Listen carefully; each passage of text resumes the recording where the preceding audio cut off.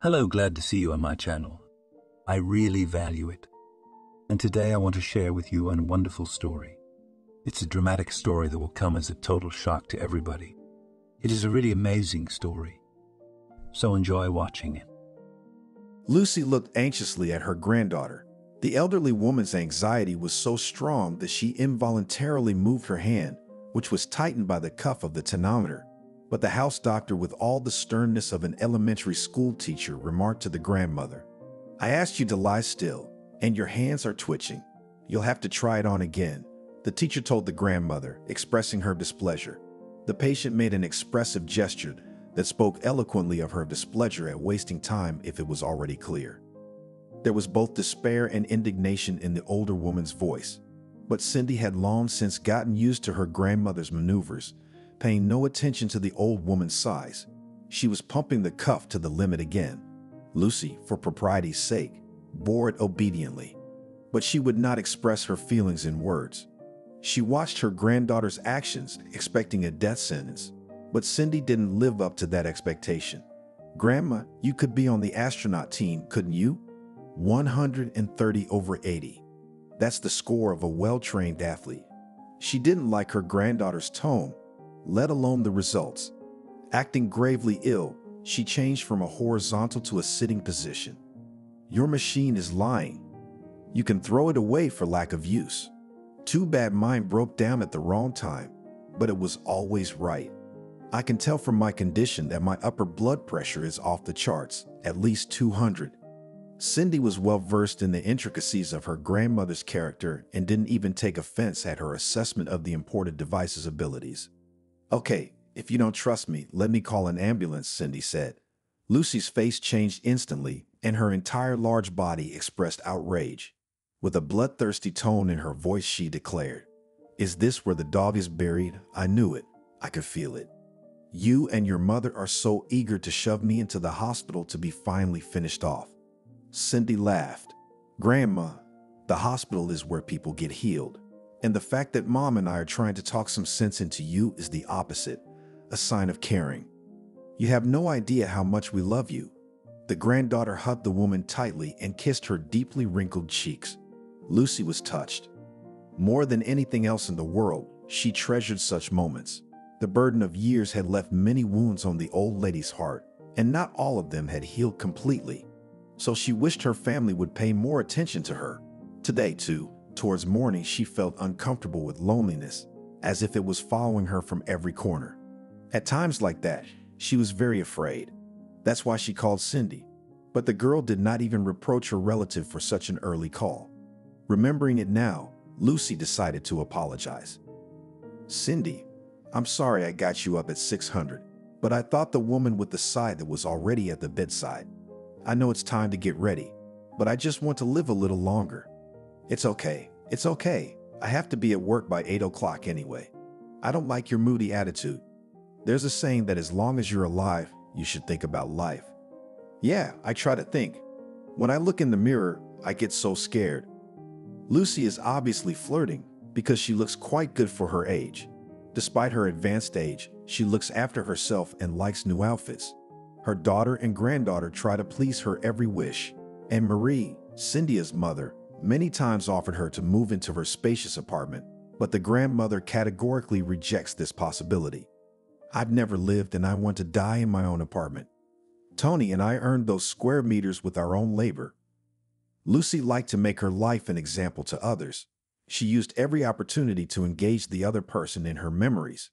While Cindy was in the kitchen preparing breakfast, Grandma didn't miss the opportunity either. If you knew granddaughter, how hard times were back then.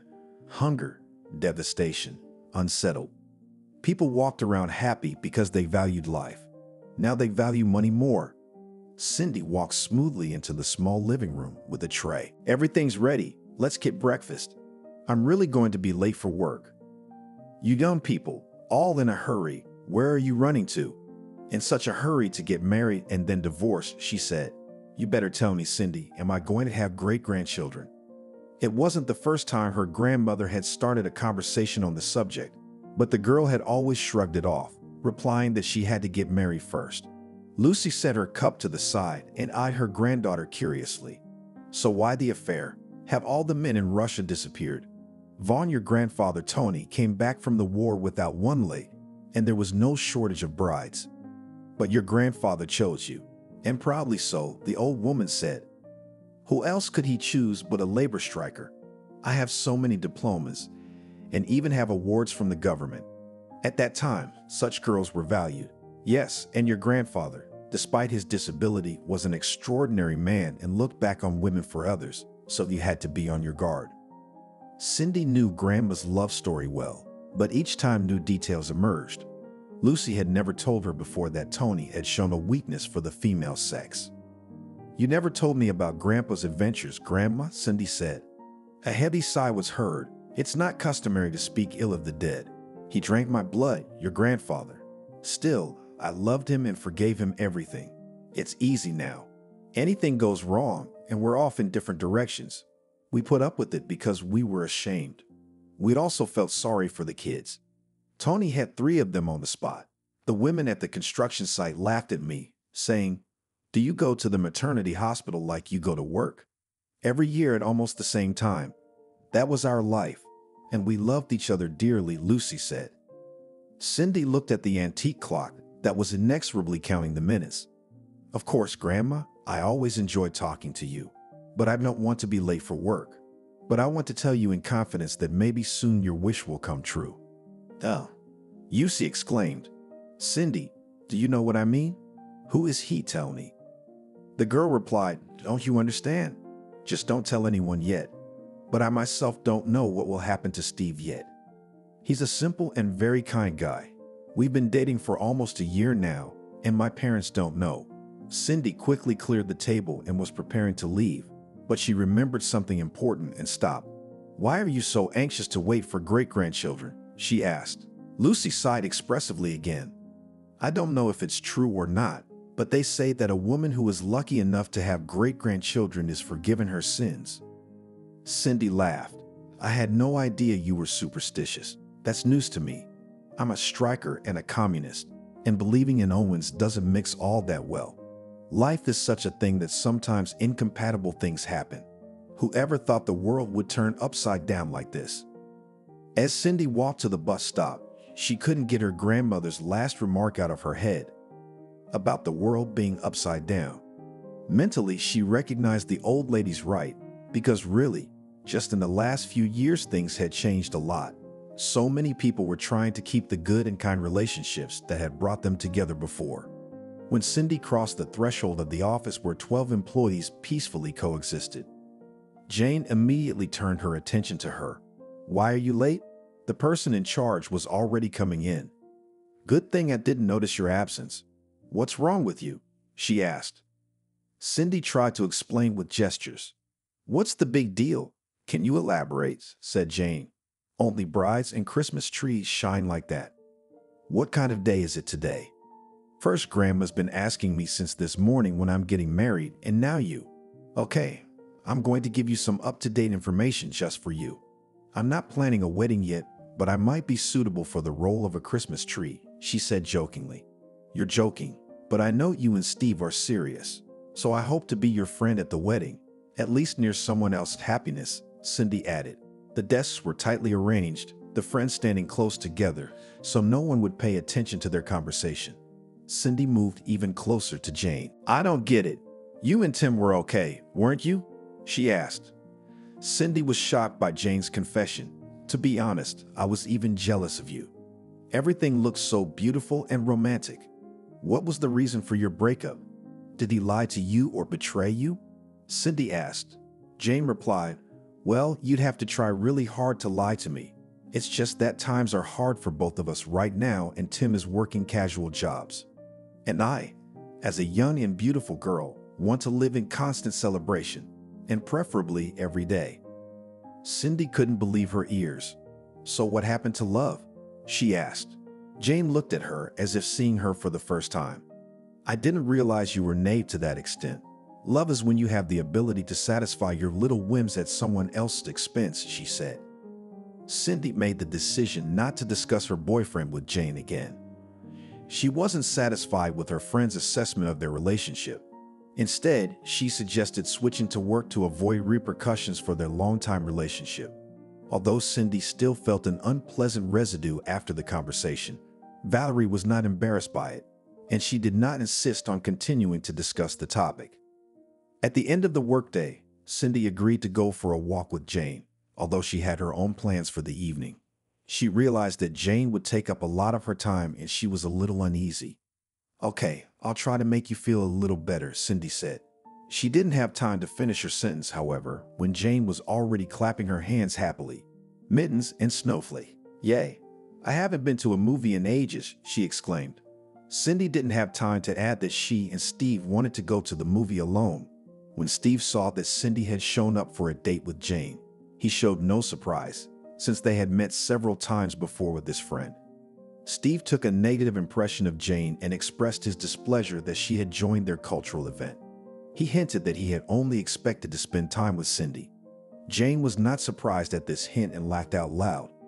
We can buy a term. True, it will cost three times as much, but the matter will be settled, she said.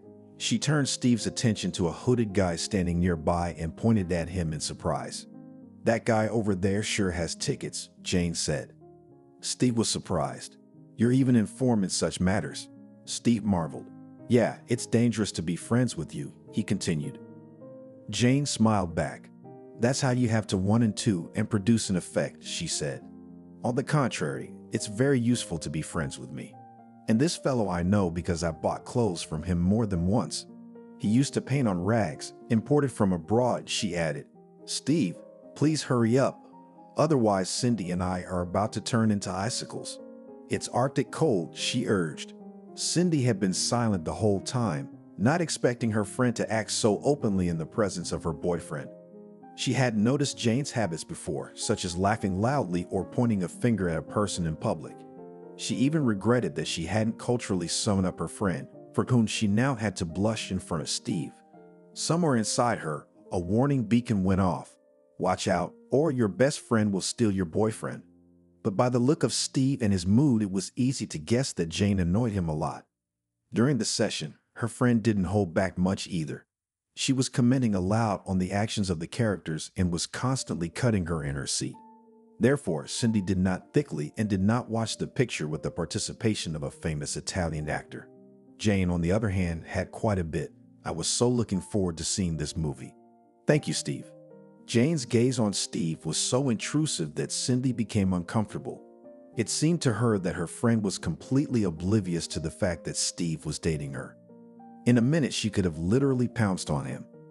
Friends, I don't understand why you have those facial expressions like you just drank a spoonful of fish oil. Remember when they used to feed it to us at daycare? Jane burst into loud laughter. Cindy just nodded in response. Not wanting to delve further into this awkward moment, she was already ready to say goodbye to her friend as they stood in the driveway of Jane's house. But Jane wasn't going to part so easily.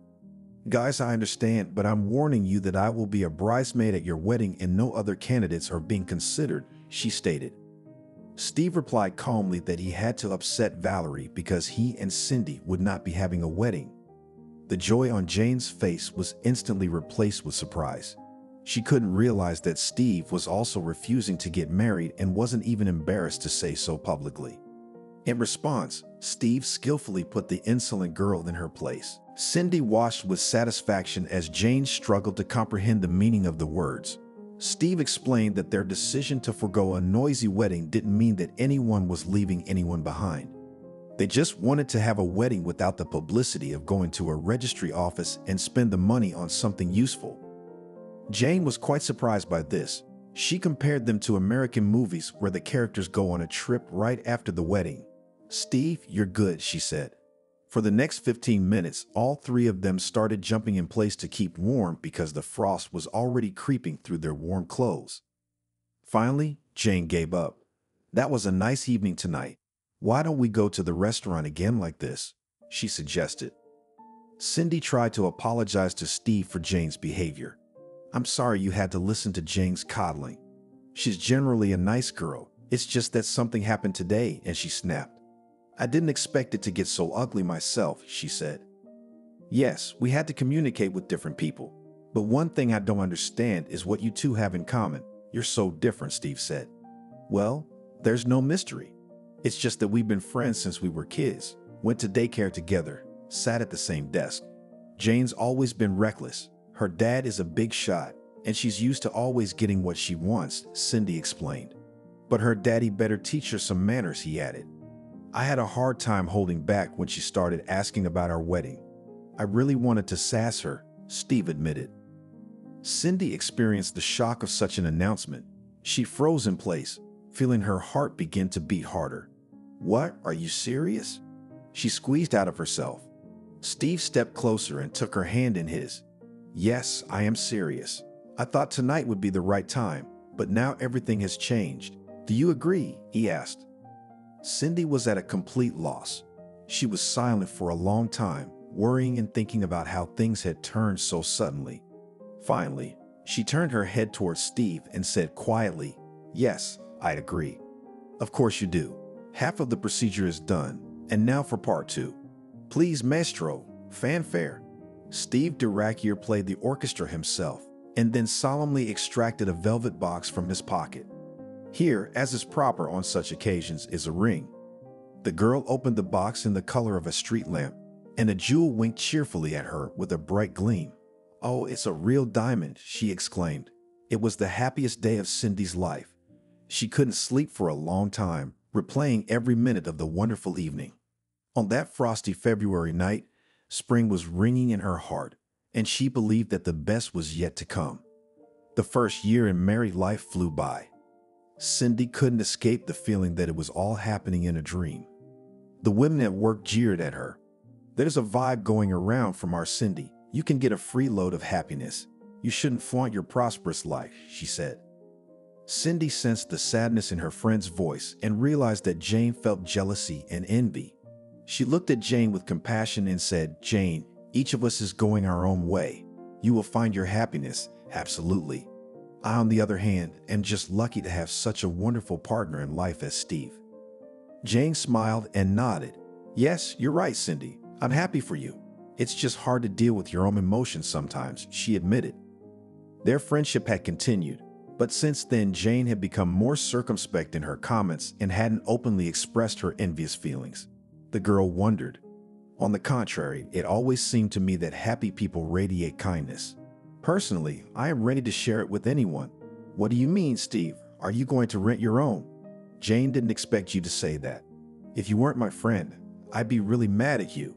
Sometimes I feel like you're not happy for me or I owe you something. Cindy almost cried with resentment so Jane tried to remedy the situation. Why do you say that? You know, I don't mean that. Well, my tongue's just so bad. It's just talking nonsense. No offense. I'm not upset with you, Steve, about the wedding that didn't work out. The tension was relieved, and both girls smiled at the end of the meal when they put down their plates of dessert. Jane asked Cindy with a piercing sadness, What is happiness like? I guess it's different for each person. You know, I recently came across a collection of poems by a poetess. Anyway, she lived through the war. There was love and betrayal in her life. One of her poems struck me. It's about happiness, which this woman had spent her whole life collecting in bits and pieces. But you can't get much happiness this way, although it is very beautifully said. Yes, beautiful and right. You know, Jane, my grandmother told me many times about her youth. I mean, Grandpa was legless, and she'd cut her throat for him. I'm sorry, I didn't put it well, but according to my beloved grandmother's stories, it used to be the man himself was valued, and it didn't matter what his physical shortcomings were. It was what was inside that mattered. Jane looked at Cindy with wide eyes. Well, you're a real piece of work, girlfriend. You shouldn't be in accounting. You should be lecturing at some liberal arts college. And I'll be leaving accounting soon. What? Another surprise. Steve, did you get another job? You could say that. We're about to have a new addition.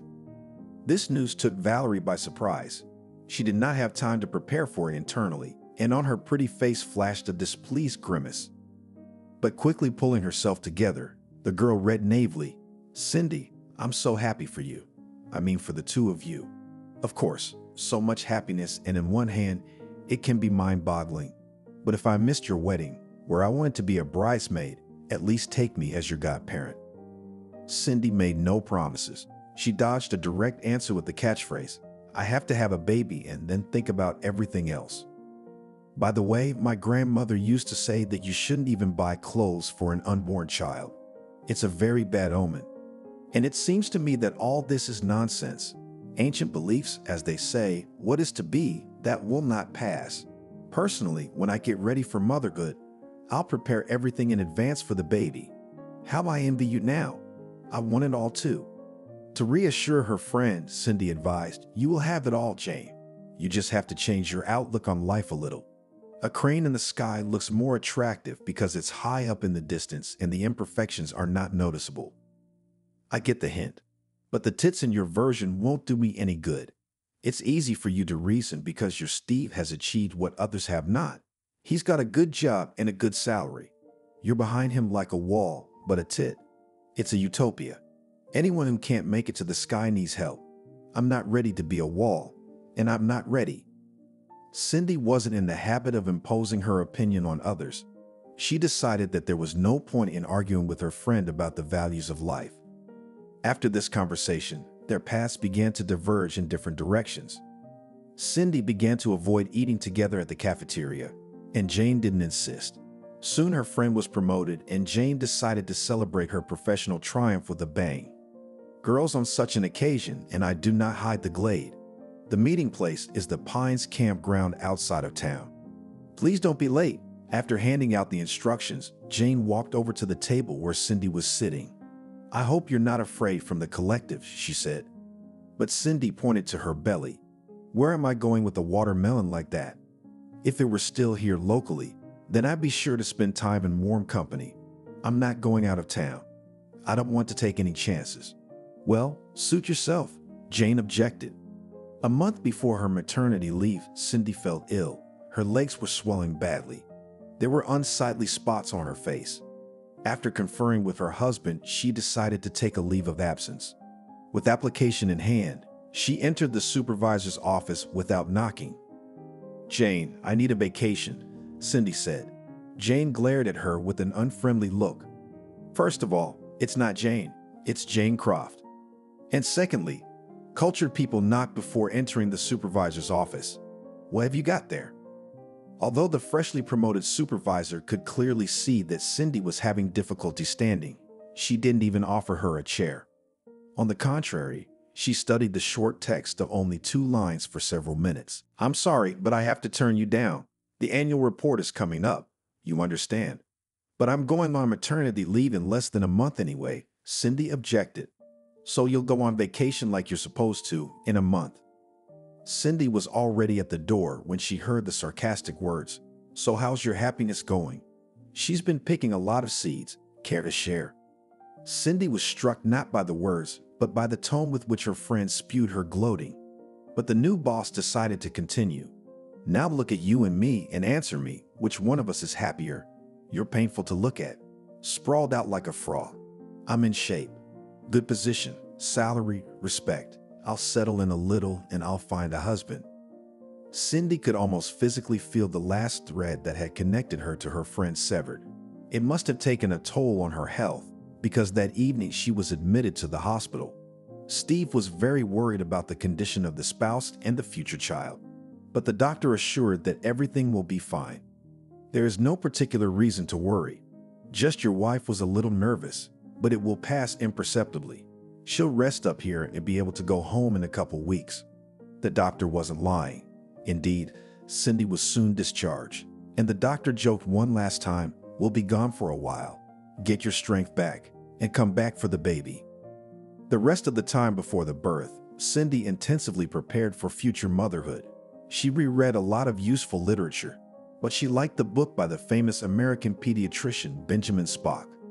When Steve caught his wife reading this treatise, he was surprised. I see that you are already very ready, and I'm allowed to study the references after all. I want to take a very active part too. I'm all for it. Here you go, Cindy replied. Steve took the book, but it was obvious that his mind was on something else. Cindy decided to help him out. Honey, is there something you wanted to ask me? There is this. Listen, I was at a meeting at City Hall the other day and I was almost speechless when I saw your friend there.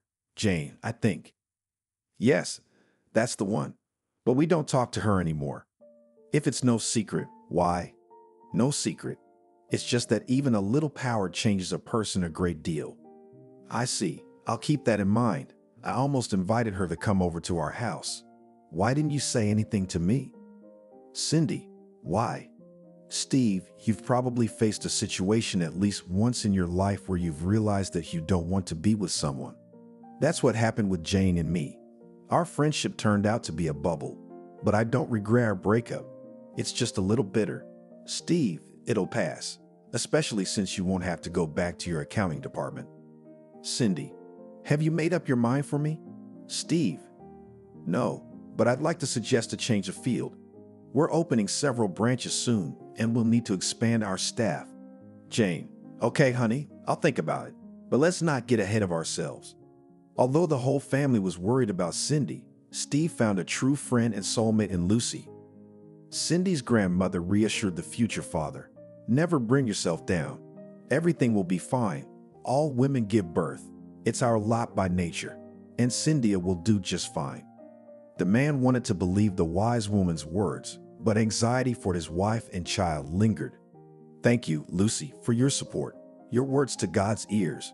Don't worry, honey. Heaven hears everything and angels are already circling ready to protect your baby. Cindy's father stayed on the phone.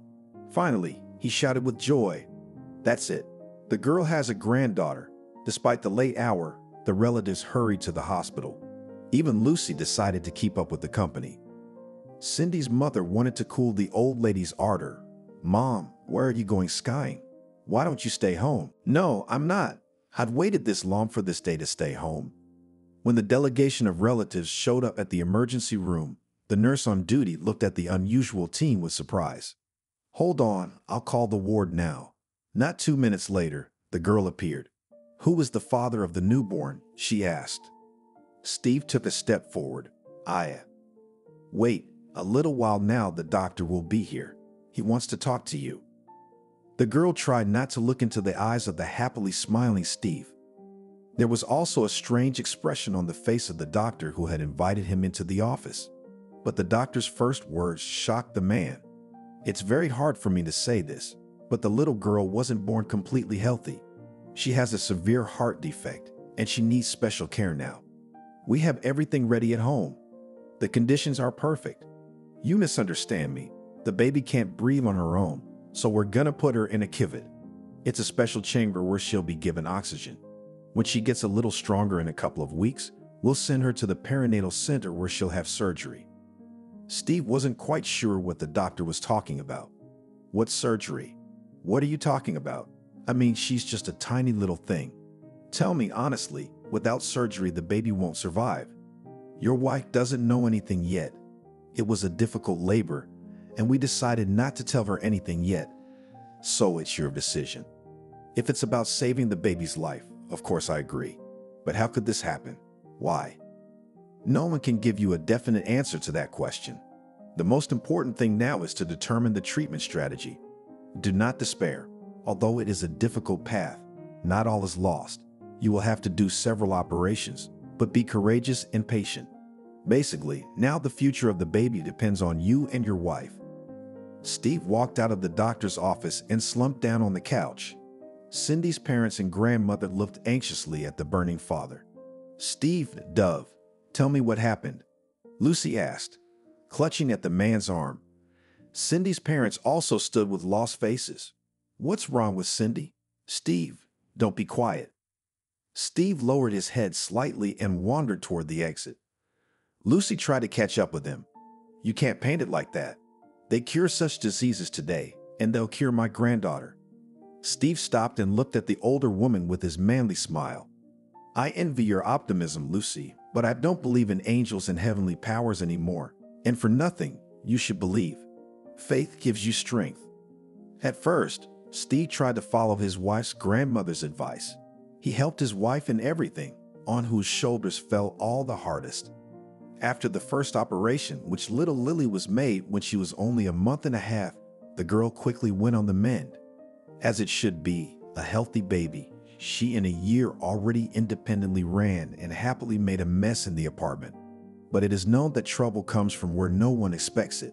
Young parents rejoiced at every success of their daughter and tried to diversify her leisure time. They did not refuse the invitation of a colleague at work, whose daughter was a few months older than Lily. Steve, come as a family to Sarah's birthday party. She's turning two.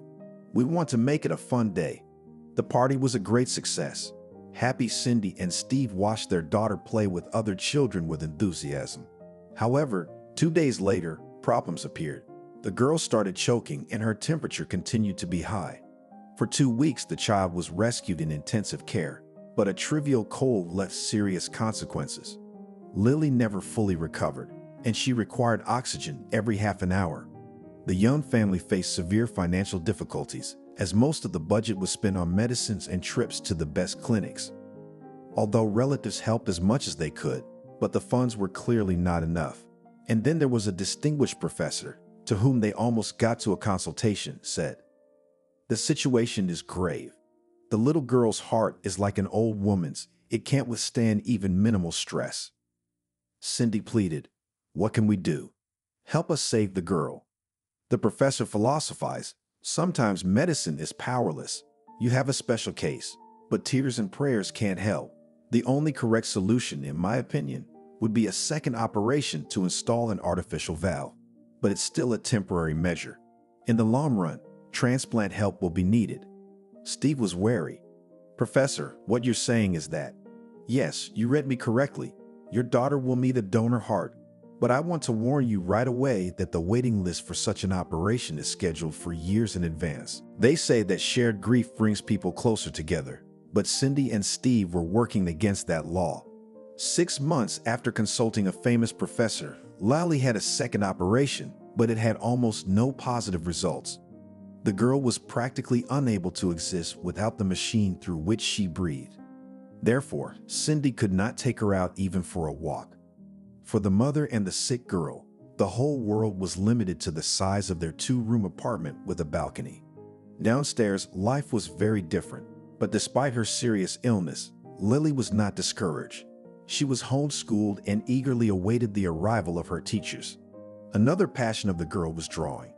In her incomplete eight years, Lily, with great talent, conveyed all the shades and details of her drawings. She enjoyed showing her work to anyone who was interested. One day, a teacher who came every day said, Your girl has talent. If you don't mind, I'll show her drawings to an artist I know who teaches at the Academy of Art. At first, Cindy didn't pay much attention to these words but soon several of her daughter's works were given to the teacher. But soon the burden of everyday life became so heavy that Cindy forgot all about it. One day she confessed to her mother, who visited them every day, I feel like a snail in a shell. I imagine how my sweet grandmother would be reading these words right now. I wish she were around. I miss her very much. Mom was a real optimist. The only time I ever saw her cry was when my dad died. The rest of the time, she always had a smile on her face and filled the whole family with joy. Although we don't so much want to be like Grandma, for some reason we can't seem to make it work, especially lately. The constant moping won't let go. I'm just hanging in there for Lily. And Steve. I mean, he's always been there for me. Or has something changed? I didn't want to dump my problems on my mother's head, but I felt a strong need to share them with someone. I don't know if it was just my sick imagination, but Steve had changed a lot, especially in the last year. He's become irritable and even rude to me. He hardly ever goes into Lily's room. You should talk to him. I tried, but he refuses to talk to me directly. I get the impression he's afraid. Afraid of me and Lily and everything that's going on here. You know, Mom, my husband's been coming home later and later, so I'm starting to think he's got another woman. And if he leaves us, I don't know how we're gonna live. Don't worry, your father and I always have a shoulder to lean on. And Steve is such a responsible man. I'm sure he wouldn't do something so mean. Oh, Mom, I can't be sure of that. He's not the same. Suddenly, Cindy remembered the teacher who had praised Lily's talent. I'm totally boring you, but there's some good news, she said. Nico, the teacher took some drawings to show the artist. Of course, I don't believe in all the Cinderella tales, but who knows? Marie said thoughtfully, I told you a hundred times that my granddaughter is a diamond. It's unbelievable for such a sick child to draw so well. You should hire tutors or art education teachers for her. Mom, I'd love to, but with what money? We're barely making ends meet. Medicines are so expensive, and we only have one breadwinner, and he's often in a bad mood. I don't think these lessons will cost much. My father and I will help. Maybe our Lily will become a famous artist. By the way, where is she? Cindy nodded toward the balcony, where her daughter had organized a plein air painting session. Although you can hardly call it a real nature, it's a small oasis of green under our balcony. The girl was passionately painting, sticking out her tongue. The mask of the device did not interfere with the creative process, and the young artist deftly corrected it every time she changed her body position. Marie leaned over to examine her granddaughter's work. Well done, my good one, she said. Suddenly, the mask slid off the girl's face, and she began to cramp her mouth. The grandmother quickly fixed the device. You are not allowed to make any sudden movements, and you can't even get excited much either, she said. Grandma, don't be afraid for me. I'm used to it by now. And Auntie told us that soon I'll get a special device so I can go outside with it. Cindy confirmed from afar.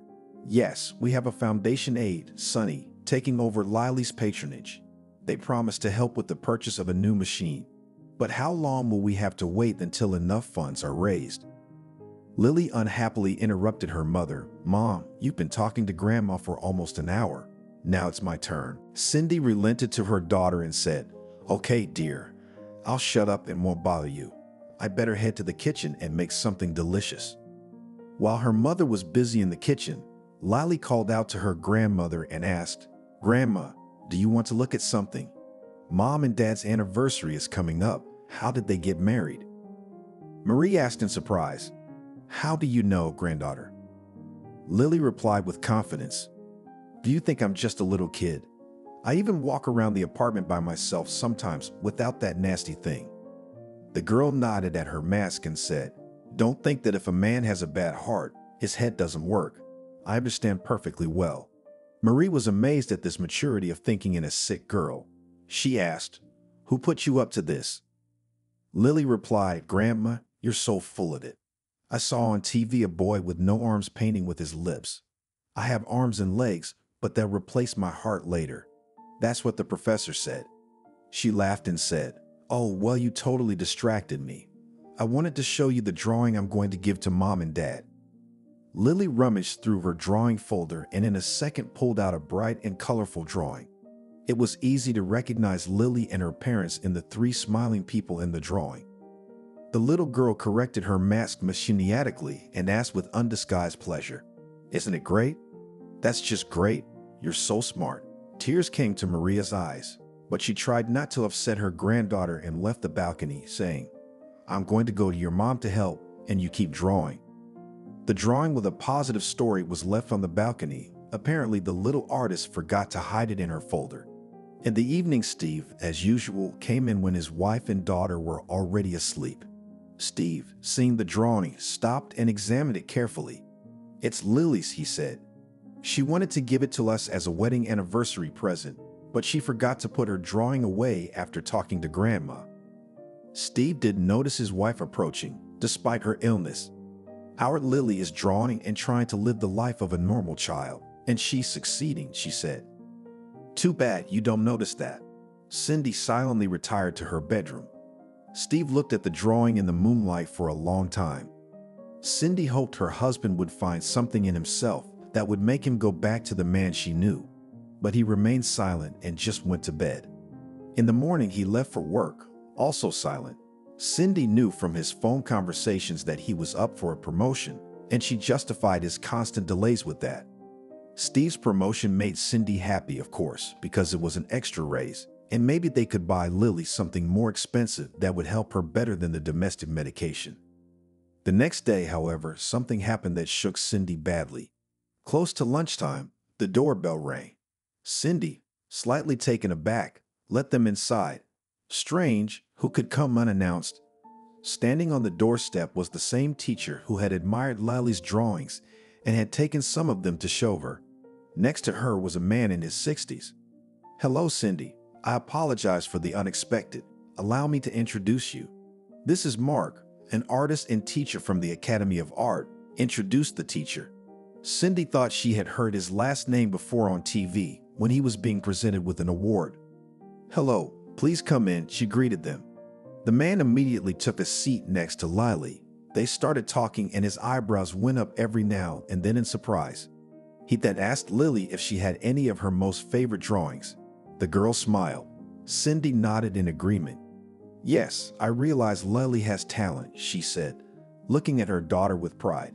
She tries hard and loves to draw. We always support her in that. Mark smiled. That's great, he said. I can see that you are very caring parents. I would like to offer Lily art lessons. I'm sure she can develop her talent even more with our help. Cindy happily agreed, and the girl smiled knowing that her dream of having her own art drawing lessons was beginning to come true. Cindy was amazed at the offer and gratefully agreed.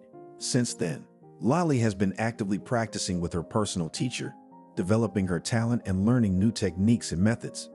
Her work was exhibited in several shows and she began to be recognized as a young artist.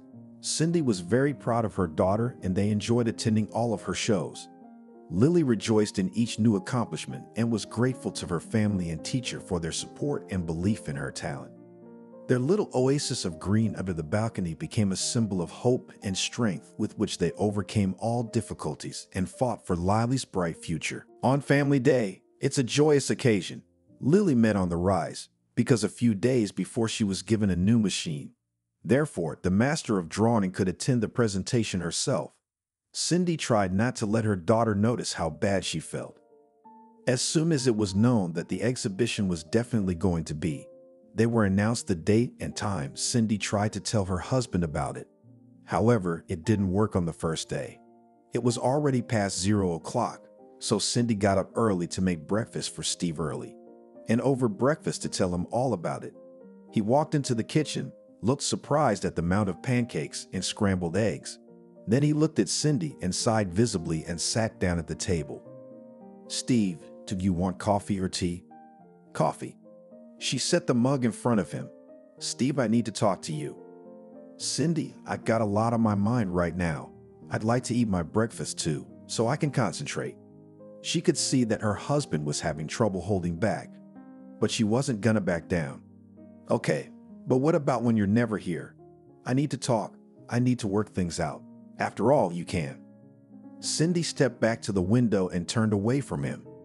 Steve looked at her closely for the first time in a long time. She had these jeans from before she was pregnant. They were so frayed they seemed purposely frayed. Some kind of uniform t-shirt. Cindy appeared very thin in it, though she did seem to have lost a lot of weight. Her hair was in bunches. He'd hated that bun always. But she used to laugh and reply, Do I have to sweep up dust with my hair? Yes, Cindy has changed a lot. If it's so obvious on a young woman, what to say about him and his pants. It's also about to be a year old. Sure, he has others, but it's still a long time since he buys what he wants. Yes, he doesn't buy anything at all, doesn't make anything of what he wants. All he does is work and bring in money. Sometimes he feels like he goes home after his paycheck, throws all the money into a big pot that's burning like hell, and immediately realizes that he can turn around and go back to work because there's no more money. Lately, Steve has been realizing that he's tired, tired of it all. He doesn't want to live like this anymore. Yes, Cynthia loves him, and it's not Lily's fault, but he's human too. He hasn't done anything wrong in front of God. He shouldn't have to carry all this. He's not even 40 yet, and he feels like he's well into his 60s. So the life he hasn't lived is over. There's nothing ahead of him. I mean, it's the same as it is now. Cindy turned around and Steve saw the determination in her eyes. Cindy, don't get me started. We'll talk. We'll talk about everything. Give me a few days to gather my thoughts. She agreed abruptly. Okay, let's do it Friday. We can't take it any further. We have a show on Sunday. She was about to say exhibition, but Steve was already out. Cindy grinned sadly. It had been over a year since he kissed her when he came and kissed her when he left. At first, she cried, resentful, and then she just accepted it. By Friday, she and her mom had bought Lily a beautiful dress. It was the first big event of her life after all. Steve didn't come home on Friday. He didn't show up until Saturday, but there was no way to wake him up that night to go to the exhibit. Cindy could definitely smell the booze. It was so strange. Steve didn't like to drink at all. Anyway, they were already running late, so they left him to sleep and went to the expo. Marie, is he really rambling? What kind of father is that? Such an event and he can't go to the baby. Mom couldn't even manage to tell her about him and the event because Steve is never home. Marie gasped with indignation, but that's okay. She'll talk to Steve again. Cindy has fallen out of love. It happens. But the baby had nothing to do with it. The show was a real success. So many words were said for Lily that the girl got excited and even had to take medication. But Grandma and Mom saw it coming. That's why there were no consequences. And then already at the very end of the holiday, Mark brought a man to them. Lovely ladies, please love and complain. This is my son, Rick. He was the organizer of the party. Cindy smiled involuntarily. Mark spoke of this son with poorly concealed pride.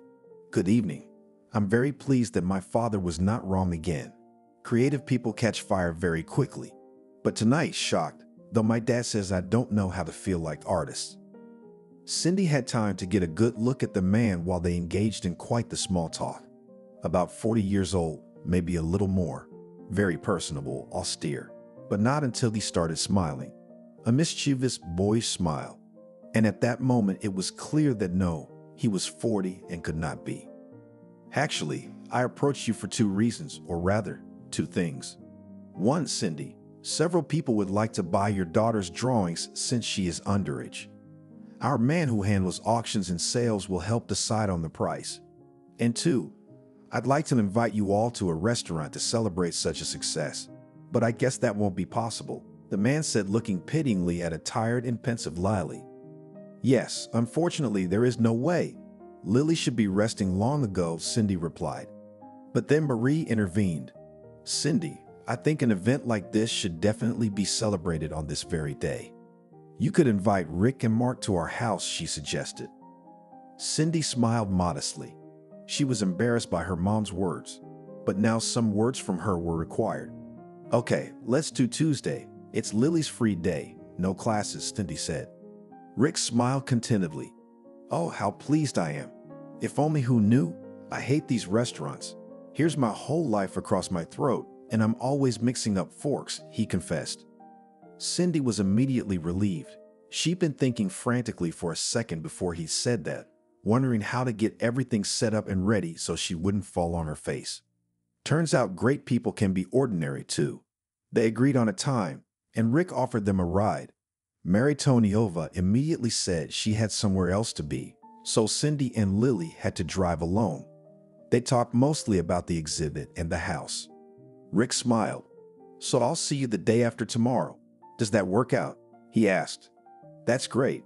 By then, I think we'll have our buyers decided, replied Cindy. They said their goodbyes warmly. Lily could barely move her legs. I called it, Cindy thought. She immediately put the girl to bed. She heard Steve splashing in the bathroom. Very good, she thought. Now they're going to talk. Well, he's not so callous as not to be pleased with his daughter's success. About 20 minutes later, the bathroom door opened and Steve appeared in the kitchen. He didn't even ask where they were, as if a kid with an oxygen mask on his face was constantly and freely walking around. Yes, we're home. It's really good that you're home too. Otherwise, lately we only know about me having a husband and Lily having a daddy from memory, Cindy said. He turned sharply toward her. And I don't see what you're not happy about. I work like a wolf and I can't even afford anything all the money is flying into the abyss. You must have forgotten that there is another life, a life that normal people live. They go to the movies, buy themselves expensive things. Their homes don't smell like medicine. They work to live a life of pleasure, Steve said bitterly. Basically, it's not living, it's just existing. I'm bored with it. Do you realize that? Steve said. Cindy, in a surprisingly calm voice, said, And what do you suggest we change? What do we need to do to find a way out of this situation? You realize we can't change anything yet. That's right, we do, he added. But I can. Why agonize altogether when at least one person can live a normal life? Steve, I don't understand you. Above all, with a shake of her head. She tried to understand his words. Cindy, I'm leaving. I don't care what you think of me, but I don't want to live like this anymore, Steve said and sat down at the table. Cindy felt the ground beneath her feet shake. Leaving, but it's death for Lily, she whispered with worry and fear. You know yourself that the medicine they give her hardly helps at all. We have to buy everything. How are we going to manage without you? Cindy said with pleading in her voice. Steve shook his head negatively. Cindy, don't try to pressure me with your pity. I'm not trying to. I want to understand. Are you consciously going into this knowing how it will affect our daughter? She asked bitterly. Steve silently stood up and walked out into the hallway. Cindy, crying, tried to follow him. Steve, please come to your senses. Think about what's going to happen to us, she screamed. But he only threw on his jacket and turning to her said, When you calm down, pack my things and don't try to look for me. Nothing will change. Then he closed the door behind him and Cindy folded herself on the floor, crying. What to do now? How to go on with her life? A few minutes later, she heard her daughter calling for her. Cindy hurried to her. Lily was pale, but Cindy didn't see anything serious. Mommy, can I draw? Lily asked. Cindy smiled. You draw all the time. Don't you get tired? She asked. No, Mommy, I like it so much. I even feel better, replied the girl. Cindy restrained herself so her daughter wouldn't notice her confusion. She didn't want to disturb the child. In the evening, when Lily was already asleep, Cindy sat down in the kitchen to assess the medications they had and what they had to buy. Cindy counted the money and realized they could get by for a couple of months if nothing went up in price. She clearly realized that if she didn't come up with anything in those two months, she would be finished. But the next day, she remembered that they had to have guests. Cindy had to set aside some more money from the budget for Lily. She did everything by machine, smiling at her daughter, cooking, talking to her. But her mind kept spinning with thoughts of how to handle the situation. The guests arrived on time, but Cindy's mom called to let her know that her dad was sick, so she wouldn't be able to come. Cindy couldn't get enough of the cold as well. You're sorry, daughter, I'll manage, and then somehow I'll be there on my own, she said, trying to reassure the child. Okay, mom, I'll manage. Mark and his son arrived right on time. Cindy smiled and invited them into the room. Mark immediately felt the atmosphere of home warmth. What are the scents? How can you give up such smells in favor of restaurant smells? He remarked. Rick smiled. Dad was always a stickler for home cooked meals and family gatherings at home. Mom never managed to accustom him to the social life, he said. Why didn't you bring Mom along? Cindy asked. Cindy looked at Rick. She died 10 years ago. Daddy barely made it out. He loved her very much. Mom was an opera singer and sang until she died. She was a romantic. She was very much into glitz, glamour, he explained. Mark was quiet for a moment and apologized for his question. That's okay, Cindy replied, though inside she was upset. She realized who might have brought it up, but she decided to ignore it and spend the evening in a pleasant atmosphere. We're feeling better now. Mark's voice came from the room where he was talking to Lily. Cindy made a gesture toward the room and said, Come in, please. When they entered, Mark was standing by the table looking at something and quirking his eyebrows in a frown. He glanced quickly at Cindy and then said to Riku, Come here. Now both men were looking at the drawing and were silent. Cindy smiled and asked, What did you see in there? You know? Coincidentally, she wanted to take a look too, but Lily stopped her by saying, Mom, it's not finished yet.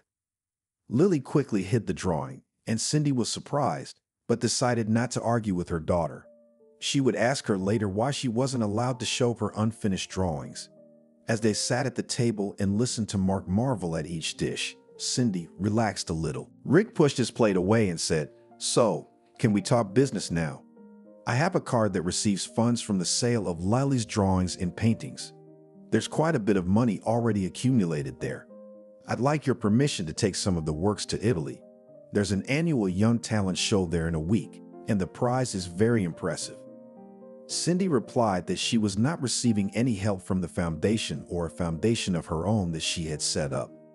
Mark apologized for such an uncomfortable question and said that he understood that the medications were not being allocated in sufficient quantities. Cindy explained that her husband had lost his job and now they were barely making ends meet. She felt she was all alone with her problems. She thought strongly that she needed to find a way out of this situation and secure a future for herself and her daughter.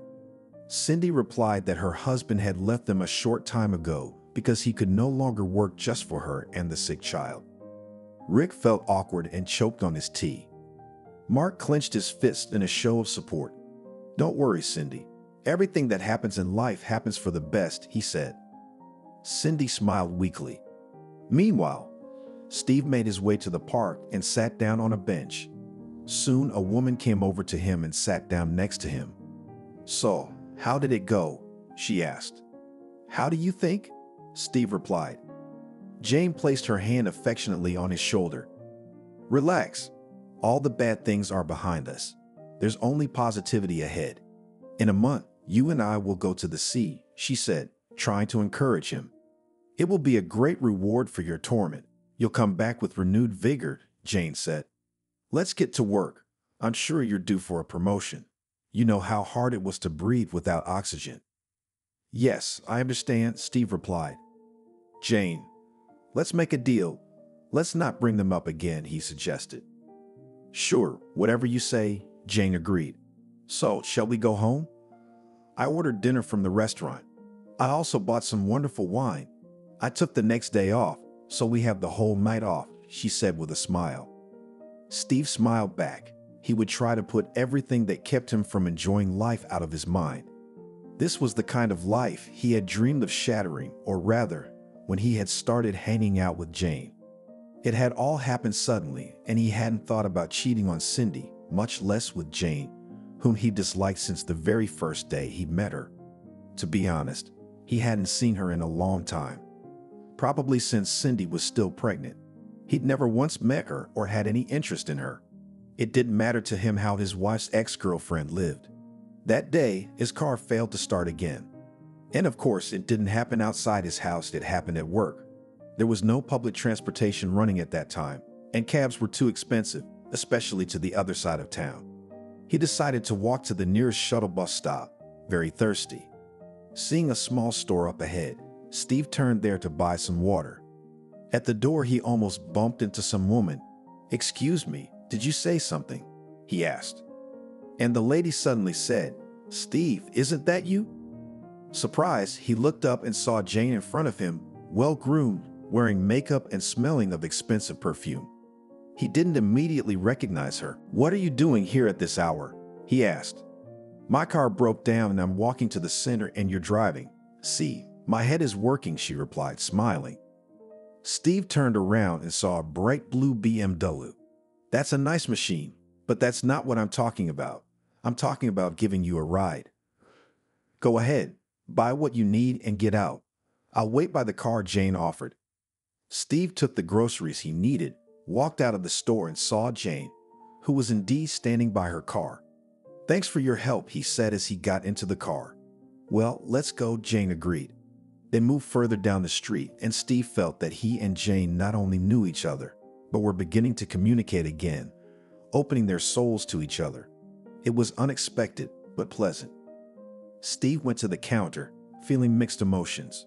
On the one hand, he didn't want to see Jane, but on the other, her presence seemed like fresh air, freeing him from his daily routine. He got into the car, which smelled of new leather, expensive perfume, and something else, something dear and forgotten. Jane smiled and asked, You like it? She even laughed. You talk as if you're living on starvation yourself. You had a good job, as I recall. But jobs don't disappear, do they? Though everything else can certainly be lacking. I mean, Lily's sick, and all our income goes to her medical care. Cindy doesn't work, so we can't afford all the extra expenses. Believe me, I'm sick of it all too, Steve said and was afraid of his own words. Never before had he allowed himself to be so frank. Jane looked at him thoughtfully. Look, how about when we retire, we do some relaxation and take our minds off these stresses, she suggested. Steve thought about it and smiled a little. That sounds like fun. Maybe that would be our reward after all the hardship, he replied. I'm just running out of reports at work. I'm tired as a dog, said Jane. Steve, not much of a drinker, felt that he didn't feel like going home. Then he suggested, Let's go to my place then. I have everything the soul wants in my bar. Steve had not expected such a turn of events on his part. He thought that they would just sit somewhere on neutral territory. And then Jane offered him to come to her house. He realized how such a sit down could end. Suddenly, he was overcome with a fever and images of Jane on lush sheets with a glass of champagne in her hands came into his mind. In a hoarse voice, he replied, Come on, you, why not? That night turned everything over in Steve's mind and made him rethink his attitudes and expectations. Jane very subtly and discreetly showed Steve that his self indulgence was pointless. Think to yourself, what's your fault? You don't have any genetic abnormality. There are no people in your lineage with this condition. Why do you have to suffer your whole life? Don't you think it's unfair? You earn, you could live a very good life, she said. Steve listened to her words carefully, realizing that she was right. Maybe he really should reconsider his situation and find ways to live a full and happy life instead of being tormented all the time. I'm sorry, though. It's none of my business. Let's have a drink instead, Steve said. They had a drink, and then Jane put on some beautiful music and asked him to dance. It had been a long time since he danced, a long time since he felt such a romantic setting. But by morning, he promised himself it wouldn't happen again. Back home quietly, Steve could smell the medicine that was everywhere and made everything so gray and sad. He went to the kitchen and opened the refrigerator, but there was nothing special in there because everything was subject to austerity. A week later, Jane called him. Steve didn't know where she got his number from, but he was glad she called. Steve, hi. I don't know how you're going to take my offer, she said. Anyway, it's my birthday tomorrow. It's not a round date, so no celebration. Thought, thought. Thought about who I'd enjoy sitting with. And you know, decided that only with you and I want to see no one else in my house. Was he pleased? He had long since forgotten that Jane was unpleasant, that Jane was angry and jealous. And anyway, what was Jane like now? And what's his Cynthia like? Heaven and earth. And even if Steve gets smashed to bits, he won't change a thing. I mean, not at all. Uh, Jane, I'd love to, Steve, but if you're talking about presents, please don't even think about it. I understand. In fact, I think we need to find a way out of this situation. Well, there has to be. They always say there's only one way out of one situation, and this isn't it. Well, I'll see you tomorrow. What time would be best for you? Can you get an hour early so you can be at my place at 6? Steve squeezed his eyes shut. What is he doing? Then he asked decisively, Jane, can you at least tell me what kind of flowers you like? She laughed. I like roses, as all women do. Steve almost blurted out that, for example, his Cindy only adores chrysanthemums. All then, yes, tomorrow, since that birthday party, something clicked in Steve's head. He didn't want to go home. He didn't want to live like that anymore. He wanted to live well, the way a professional of his caliber deserved. It had taken him a long time to come to this decision. Even though Jane had urged him to move almost immediately, maybe he'd still be hesitant. But then Cindy started talking to him. How'd she get him to do all the posts? And when she caught him up, he just wouldn't shift that unpleasant conversation again. What was the point of putting up with it? He'd said everything to her, everything that was on his mind. Everything had almost been ruined by that drawing, the one he once found on the balcony, and something stirred in his soul. It made him want to cry. I went to bed feeling upset. By morning, I decided I had to end things with Jane after all. She'd sent him a list of hot tours this morning. He hasn't been to the seaside in 1,000 years. It's so tempting. The vacation at work was no problem. Steve, of course you should go. Don't we get it? You haven't been on vacation in five years. Don't worry, we're gonna support your department, so you'll be back. You'll be fine. How's yours? His boss looked at him sympathetically. What could he tell him about leaving them? Well, of course he couldn't. He shrugged. Nothing new. All right, go on. I won't keep you. Take a break from the hubris. Realizing, though, that a whole different position awaits you after your vacation. It's a good thing you're on vacation. You'll be up and running again. He recounted the conversation to Jane, leaving out the line about his family. Jane rubbed her hands together. But life is getting better. I'll have to get you a decent car first. Your junker's been asking for a scrap for a long time. Then we can expand our place. Steve was lying on the couch believing that's the way it was gonna be. How could it not? He was a free man now. The vacation at the sea was unforgettable. Steve never once had the urge to call to see how Lily or Cindy were doing. And Jane never left a minute to spare. She'd take him on a field trip to his room to the beach. He's tanned, he's beautiful. Jane would lie next to him at night and say, You're so, you're so handsome, you're so strong, you're the best. And he believed it was true. He went to work with pleasure. First of all, he had a good rest. Secondly, he realized that very soon he would become not the head of the department, but the head of the whole division. And this is quite different. Even cars will be allocated to him. And not just any cars, but good ones. His company's cars are all fire.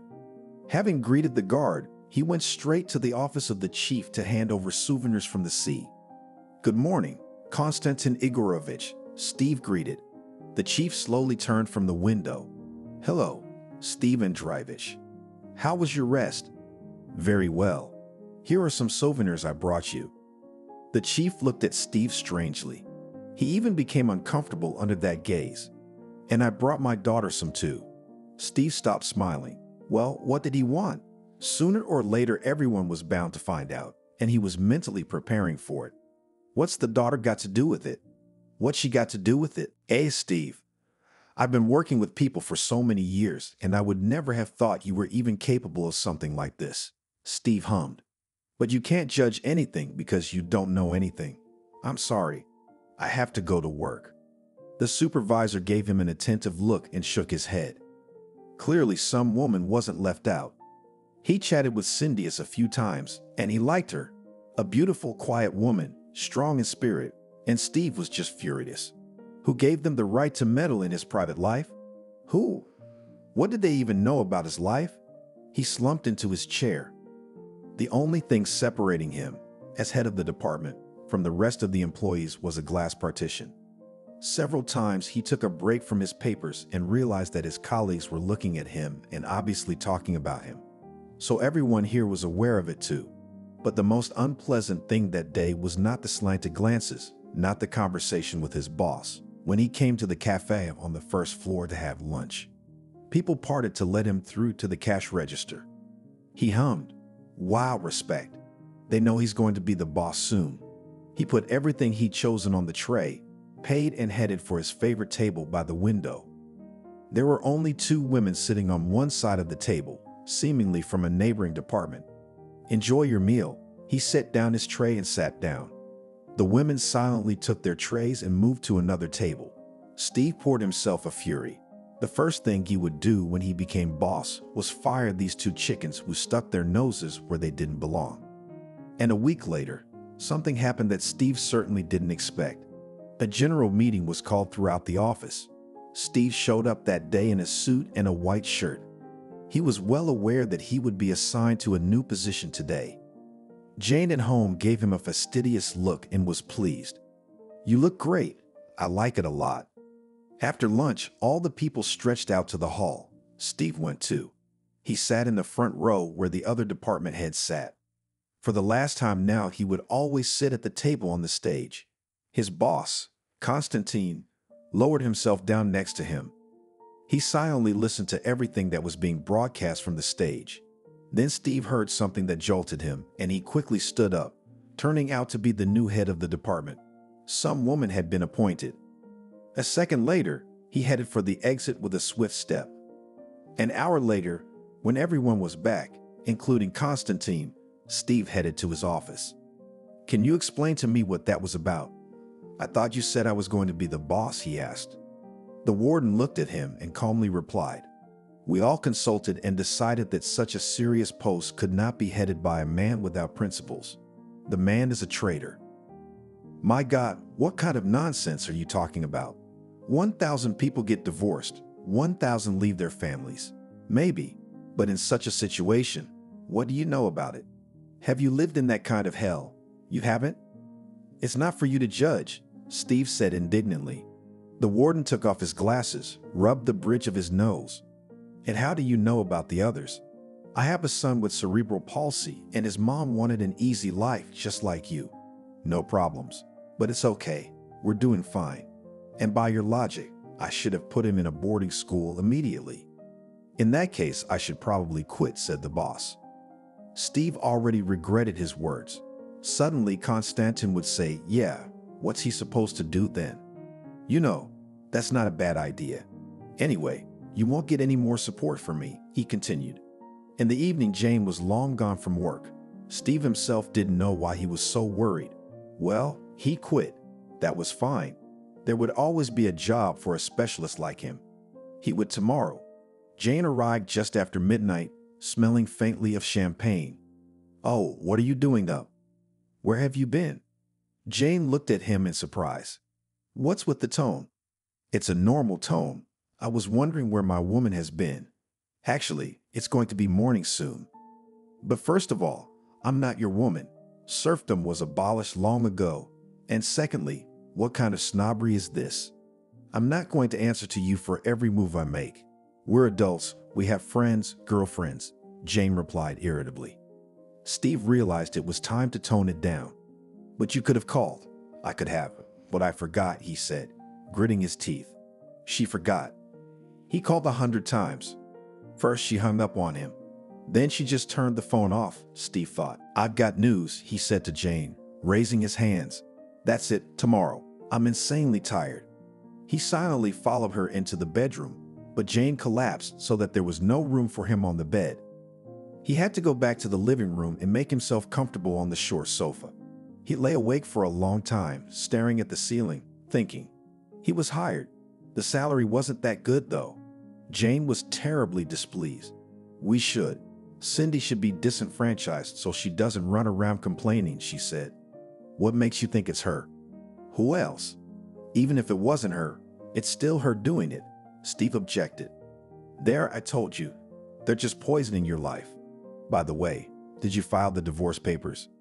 A few years later, Jane was fired for a big shortfall. The whole debt was pinned on her. And Steve suddenly realized he was right back where he left off. Only there was the kid, and here was Jane. Just like that, all the money was going into the abyss. Jane was paying off debt to stay out of jail, and Steve was working. Jane couldn't because she was getting less than the principal. She didn't agree. Principal positions are being snapped up very quickly.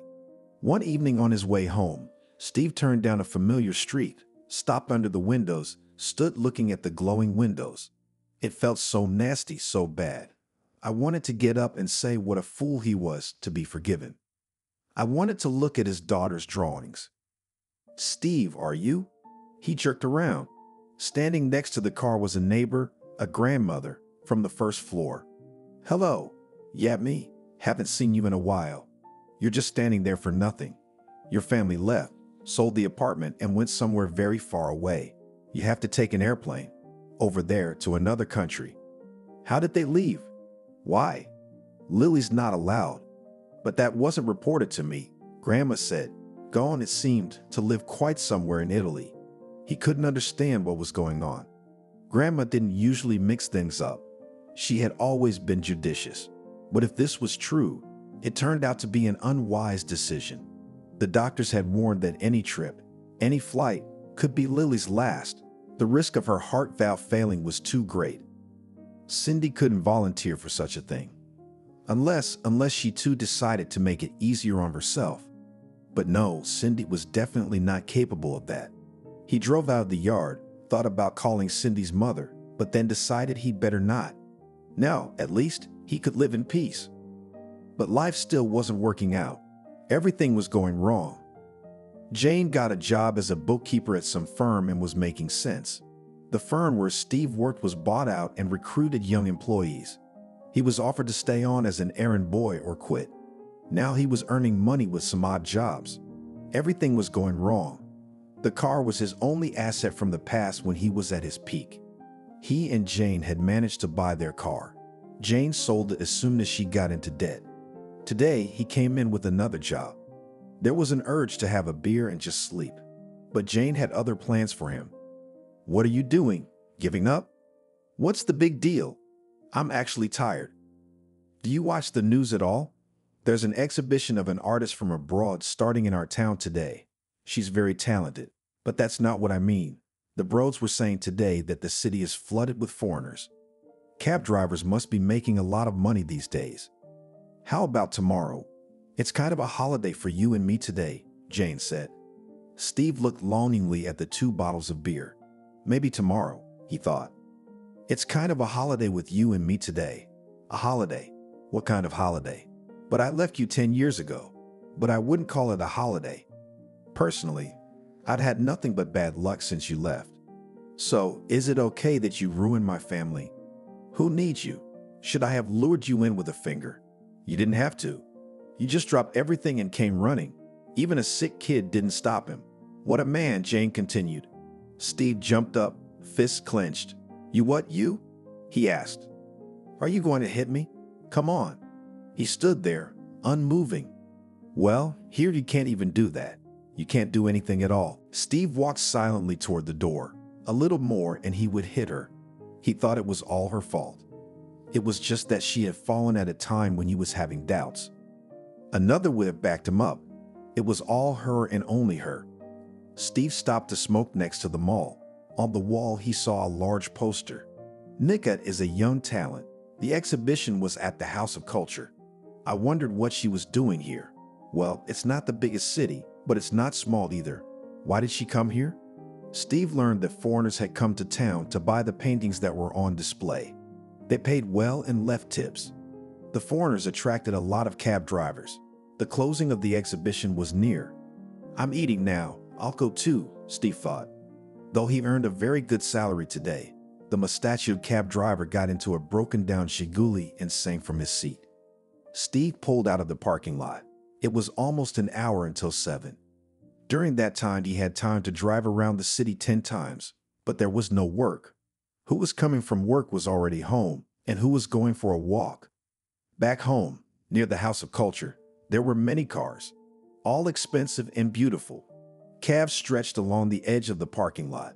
One car caught his eye, a white Jeep. Steve did not even immediately realize what brand it was. He got out of the car, walked the machine around. Yes, not bad. I wonder how much it cost. He stood for a while longer, then got into his car. How come he fell asleep? Steve still didn't understand. Apparently, fatigue had taken its toll. He picked up the phone, which had already rung several times. Steve, why aren't you picking up the phone? This is the third time I'm calling. Can't you hear me? Where are you? Is there some voice behind you? Steve shifted the receiver away from his ear and was silent for a long time. Yeah, it's nothing. You imagined it. I was just quiet for a long time, he said, waving away the feeling of strangeness. Okay, well, I thought you weren't working then. I am. I'm working. I'm working, Steve replied. Anyway, when you go home, get some sour cream and herring. Steve wanted to ask where he was going to get the money for that, but he held back in time. It was like he was working, not sleeping. Do you understand me? Jane continued. He didn't answer, just stared out the car window at the street. Suddenly, he saw a woman and time froze. It was Cindy. There was no doubt about it. She was so beautiful, so fashionable. It was like he fell out of reality. It was like it was 10 years ago. But she looked even better than when he left her. Steve, can you hear me? Hello? Jane's voice reached him. Yeah, what's the connection? What are we just paying money for? Steve replied angrily. The phone dropped to the seat and Steve jumped out of the car. Cindy, a woman who had been walking too slowly, stopped, looked at Steve, and her eyes widened in surprise. Steve, yes, it's me. What's not to recognize? You look beautiful, he said. Cindy's eyes went cold. Yeah, well, I didn't recognize you right away. Thanks, I know. Steve felt confused. How's life, Cindy? Everything okay? He asked. How's Lily? It was at this point that he realized he had done a huge stupid thing. Why was he asking about Lily? Although, on the other hand, Lily is his daughter. There's nothing wrong with Lily either, she said. Steve tried to correct his inappropriate phrasing. He was surprised, and apparently he did it too obviously.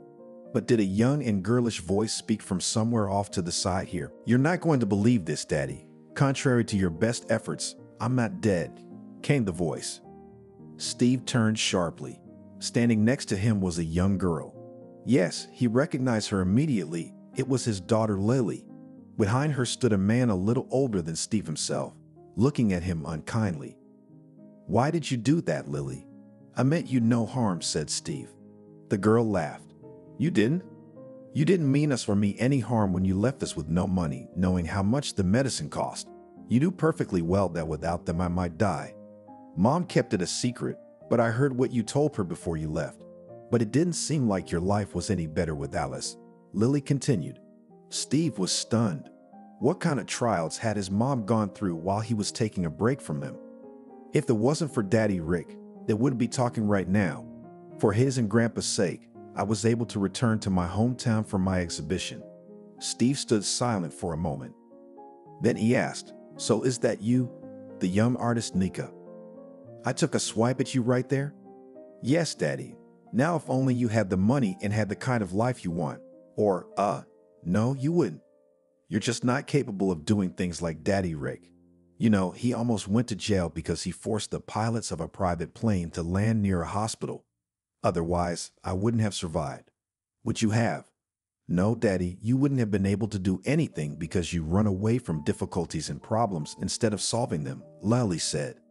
The man who was standing next to her put his hand on her shoulder. That's enough, calm down. Daughter, let's go to the car, he said. Cindy looked at Steve thoughtfully. But I'm not going to ask how you're living. I can see that already. Goodbye, Steve. Steve was just about to reply something when he heard Jane's exasperated scream. Steve, wait, don't go. Jesus, she was just home, Jane yelled. Maybe she wasn't calling from home.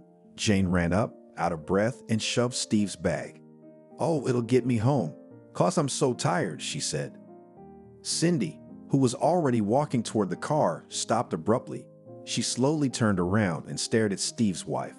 Jane also turned and stared perplexedly at Cindy for a while and then, apparently recognizing her, froze. So that's who spurred my husband to a better life? Cindy whispered. A smile appeared on her face. Jane, how much gold did you not wish for? I guess Steve only needed you to bite me harder too. There was no way I could have guessed it was you. But I guess you're lucky, not for long. You know how people fall from heights? I wouldn't be wrong. You buried your daughter, Jane said. What kind of bitch are you, Jane? Steve exploded. No, my daughter is alive and well, and as you can see, quite successful, Cindy said, turning back to her family. Jane threw a quick glance at the poster and wrinkled her nose like a toothache. Still something of an act, she muttered. But you've been decked out in expensive clothes because of the daughter on the bill. So what? So what you haven't had is happiness and you'll never have simple family happiness. Jane looked at her triumphantly. At that moment, Rick came out of the car again. Cindy, how much longer? You know our son will be very unhappy if you keep waiting for him much longer. He might even throw toys, he said. Cindy looked at Rick with loving eyes. Yeah, you're right. Let's go, she replied. She turned to Jane and Steve. So, goodbye then. Advice and love, she said. They walked to the car. Steve tried to follow her. Igor turned around and said, Not good. Steve looked at her and shook his head negatively. The car pulled out of the parking lot, and they stood there looking after it. Suddenly, Jane's face reflected anger. Cindy, well, that's okay. You'll cry at my place. Steve, you should sue your daughter for child support. She has so much money, and you're stretched thin on bread and water. I know people. We'll get you on disability and she'll pay like a sweetheart, she said with obvious anger in her voice. Steve turned away, realizing that further conversation with Jane would only lead to more problems. He stepped back inside. Only one thing was clear.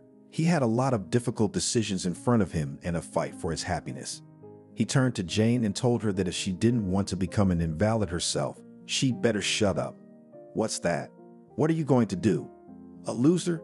She asked indignantly. Steve hit the woman for the first time in his life. Not very hard, just slapped her on the lips and walked to the car. Jane screamed all the way down the street. but no one came to help because no one was around. She rushed after him. Steve, stop. What's the matter with you?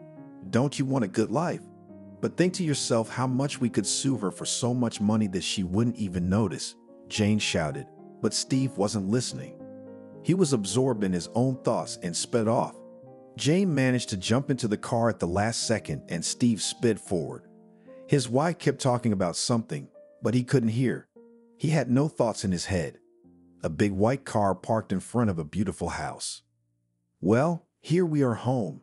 Tired, Lily? The girl looked at Rick appreciatively. No, Dad Rick, I'm fine. Let's go already. I can only imagine how Joe has tortured Grandpa. They went in, but the house was quiet. That's odd. Actually, they thought Grandpa was already out of it and his four year old grandson had turned the whole house upside down. Rick peeked into the room. Dad then turned to them and pointed his finger into the room, then pressed it to his lips. Cindy and Lily looked into the room and laughed quietly. The grandfather and grandson were sleeping right on the fluffy rug by the fireplace. Grandpa had a toy bow in his hands, and so did Joe. Apparently, they had been running around so much that they had both played and fallen asleep. Papa, well, the doctor told you not to strain your body, said Rick. Who asked him to strain it? What, I can't play war games now. Joe woke up too, looked at them and rushed over to Lily. But Dad and Mom let themselves be kissed too. Soon the whole family was sitting around the big holiday table. Lily was pensive. Cindy stroked her arm. So are you upset? She asked. No, Mom, I think I'm even relieved. I wanted to get back at him so badly. Today, I realized that he got his own revenge. Life punished him, Lily replied. Cindy pulled her daughter close to her. That's good. You should never take revenge. Life will sort things out. Mark raised his glass. I propose we drink to Lily's success. It's a resounding success. And I will say, as an expert on the subject, that there's more to come. Thank you, Gramps, Lily said. Not five minutes later, Mark raised his glass again. Now I'd like to drink to your return. Native people should live together and, of course, in the homeland. Another five minutes later, another glass again. An hour later, Lily and Rick led Grandpa into the bedroom. Rick asked in surprise, Dad, and what was that? You've never let yourself do that before. Mark stopped and said, Son, if you only knew how glad I am to have you back. You don't realize how lonely I was out here, the old man said. Rick looked at him in surprise. But you never said anything. Should I have? Mark asked. No, I didn't want to interfere with your life, replied the old man and went straight to sleep. Lily said, how he suffered and why didn't we come back sooner? Rick hugged her and said, Nothing. We'll all have a life together now. You'll paint. Mommy will plant flowers like she wanted. Daddy will help her. He's a beauty lover too. I will finally take over the firm that is located in this town. Lily brushed away tears. Joe will go to daycare. He's going to fight and hurt the teachers there. And we'll be scolded and called to the superintendent's office all the time. And we'll set up a line and take our turns at it. We'll see who gives him the fastest, said Lily, laughing and adding, Come on, Mom must have lost us. They walked out into the living room and saw Cindy and Marie sitting on the couch. Cindy was looking at an album in amazement. In that sketchbook, Joe was drawing all the time. Mom, what's wrong with your face? Nick asks. The girl looks in the album, takes a long look, and then laughs. Congratulations, there's one more artist in the family. They laugh and hug. Joe, seeing such a scene, begins to cry. The whole family immediately rushes to comfort him. Cindy looks at her loved ones and realizes that for the sake of such a day, she is ready to go through everything she has already experienced. What matters is the bottom line. And in the end, they are all happy. Tim belonged to that category of people for whom personal image was paramount. Throughout his not very long life, he repeatedly made a stunning impression on others. And to achieve this high goal, the average entrepreneur used not only known, but even forbidden techniques. In other words, Tim did not disdain any tricks.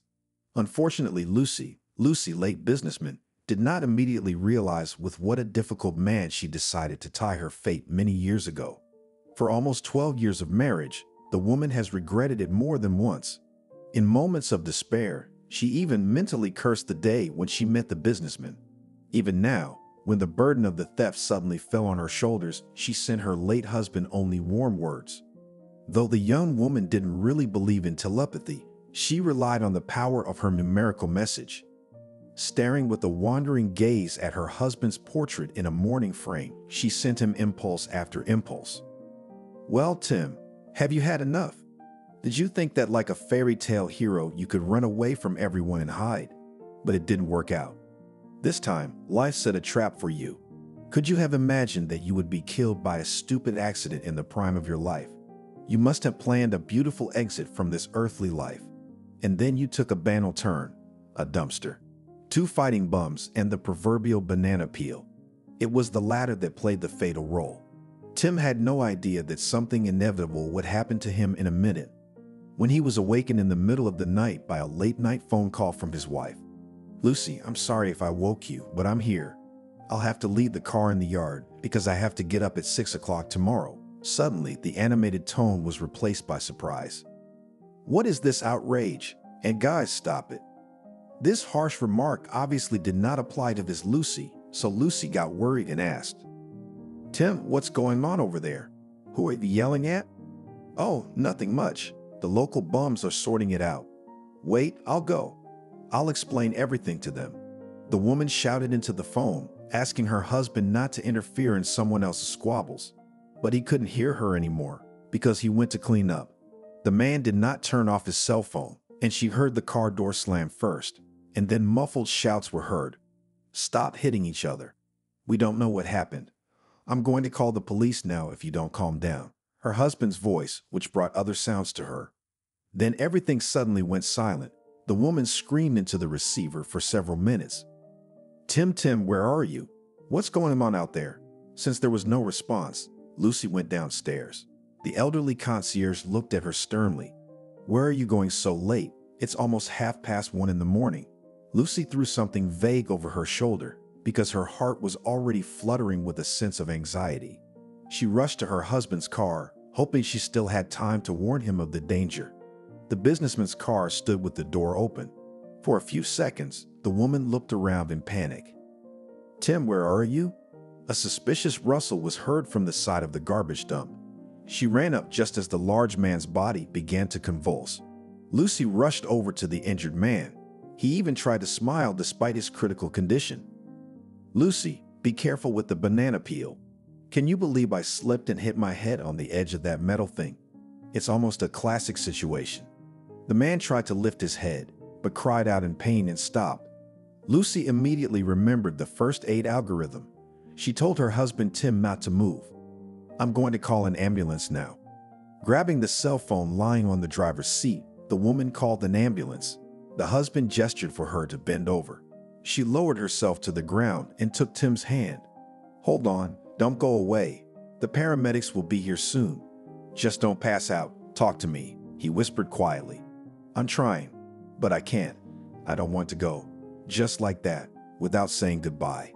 A series of new convulsions ran through the man's body and he stopped moving.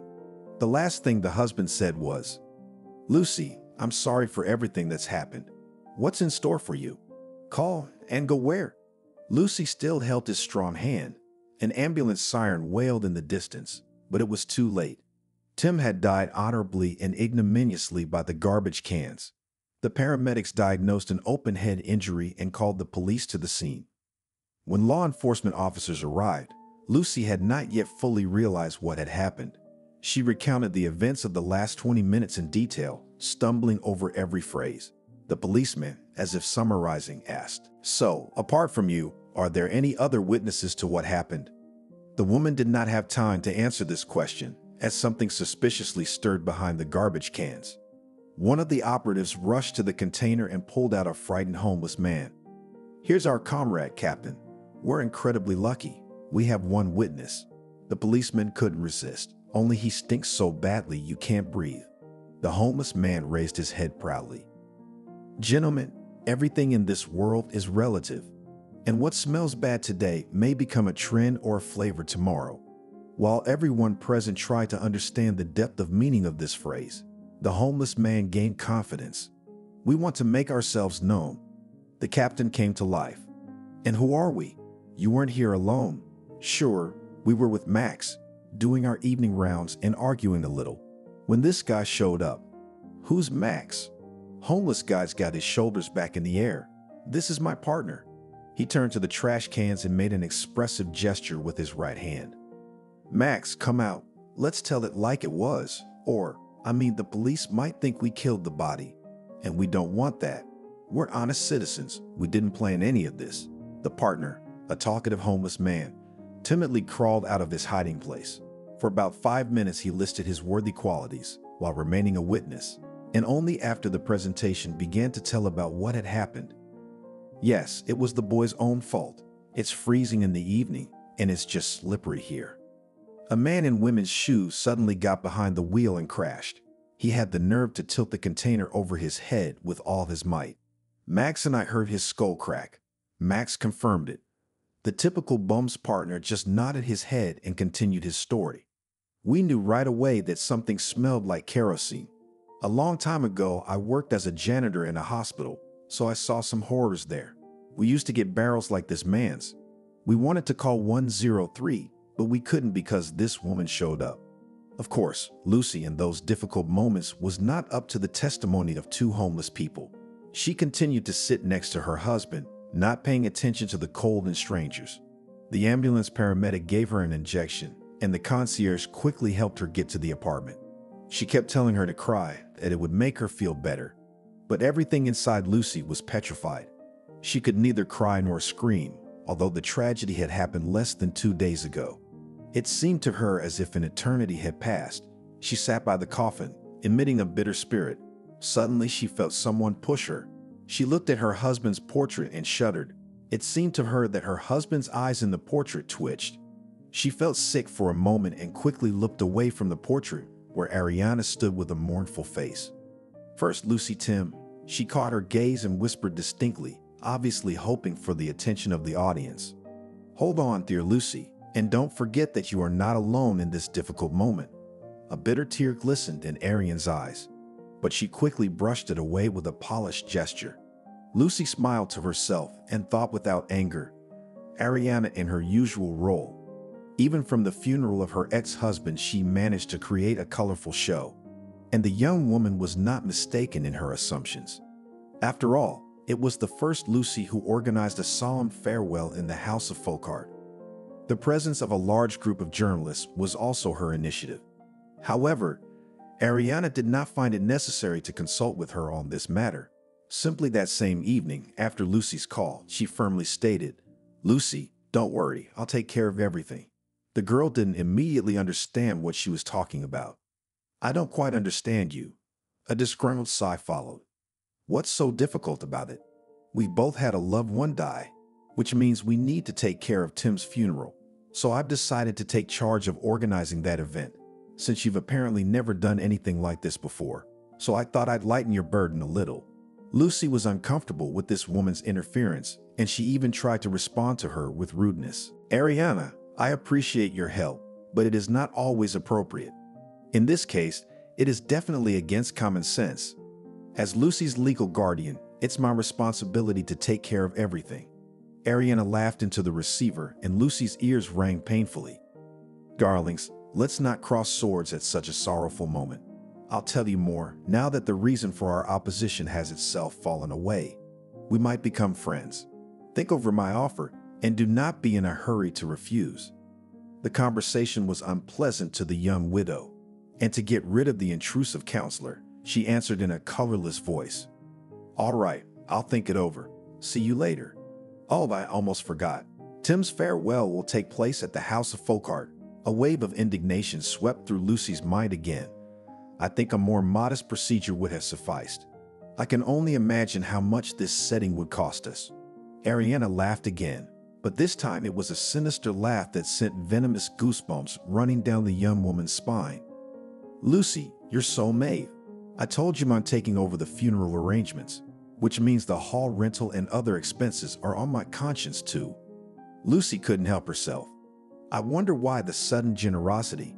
And Ariana wasn't laughing anymore. There was a note of regret in her voice, much to Tim's surprise. Unfortunately, I'm not altruistic. Tim has spoiled a lot of blood for me in his time. But there is one circumstance that got me involved in the process. But I don't think this is the best time to discuss the matter. The hour will come, and you will know everything. Lucy sat at the headboard of her husband's funeral bed and reflected on the events of the last two days. But strangely enough, she was most concerned about Ariana's behavior.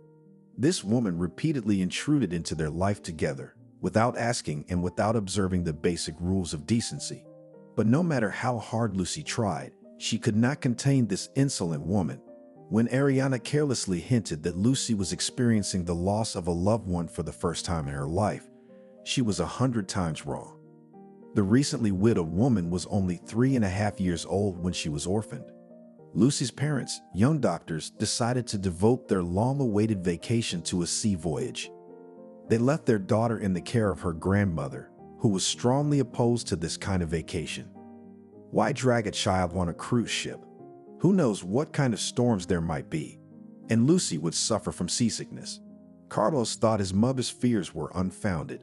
Mom, why do you always make such a big deal out of everything? Many families with small children go on sea cruises and have pleasant experiences, and all you see is horror and danger as if she had a premonition that something bad was going to happen. As you wish, but I'm not giving you my granddaughter. Let her stay with me. Then my heart will be at peace. The couple had to accept this ultimatum, but it was obvious that the decision of the grandmother pleased them very much. Overheard, her son said to his future daughter-in-law Naomi, We have the unique opportunity to relive our honeymoon. At that moment, the old woman only smiled and thought that she was ready for anything as long as her children were happy. The young couple should have already returned from the trip when the country spread the terrible news that a few kilometers from the coast wrecked the ship Admiral. Did not want to believe such terrible rumors. She hoped that this is just another hoax. But soon the news of the terrible tragedy was confirmed. Grandmother did not say anything to the little granddaughter because she was sure that her son and daughter-in-law are all right and they somehow survived. After all, their names were not on the list of the dead. They were considered missing. But as the days went by, no miracle happened. Despite her young age, Lucy vividly remembered the day she learned she no longer had a father and mother. It was September 1, and the town where her grandmother lived was celebrating the beginning of the school year with great enthusiasm. Explained to the excited girl, Don't worry, Lucy, time flies. In three years, you two will go to first grade for the first time and mommy and daddy will accompany you. During the day, they did not yet know about the tragedy.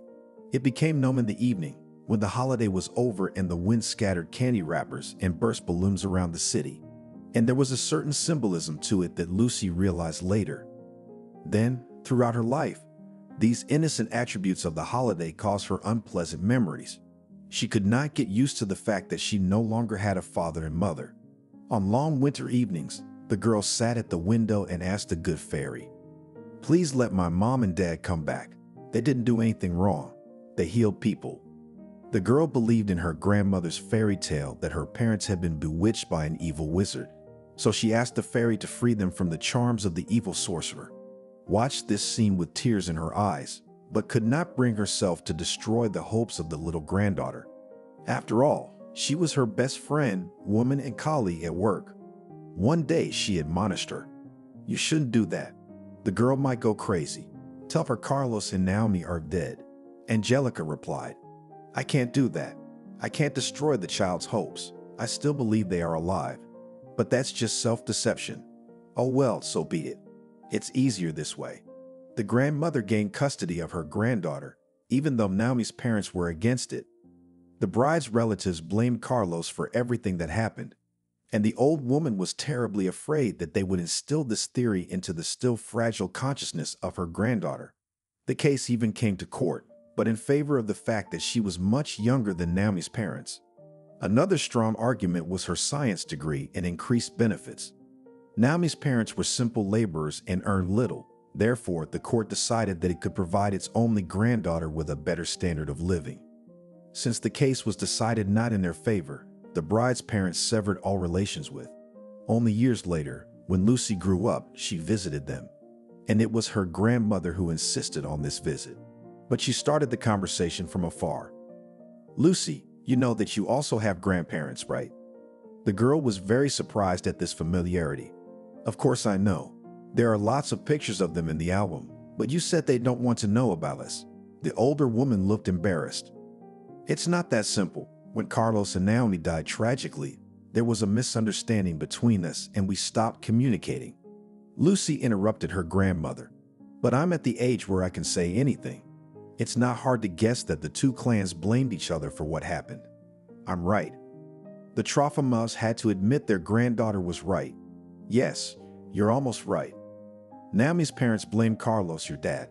They even tried to take you away from me. We even went to court. How awful. Turning a child into a trophy, nothing more horrible and humiliating asked in a trembling voice. Are you angry with me? I may have acted unjustly, but at that moment this decision seemed to me the only right thing to do.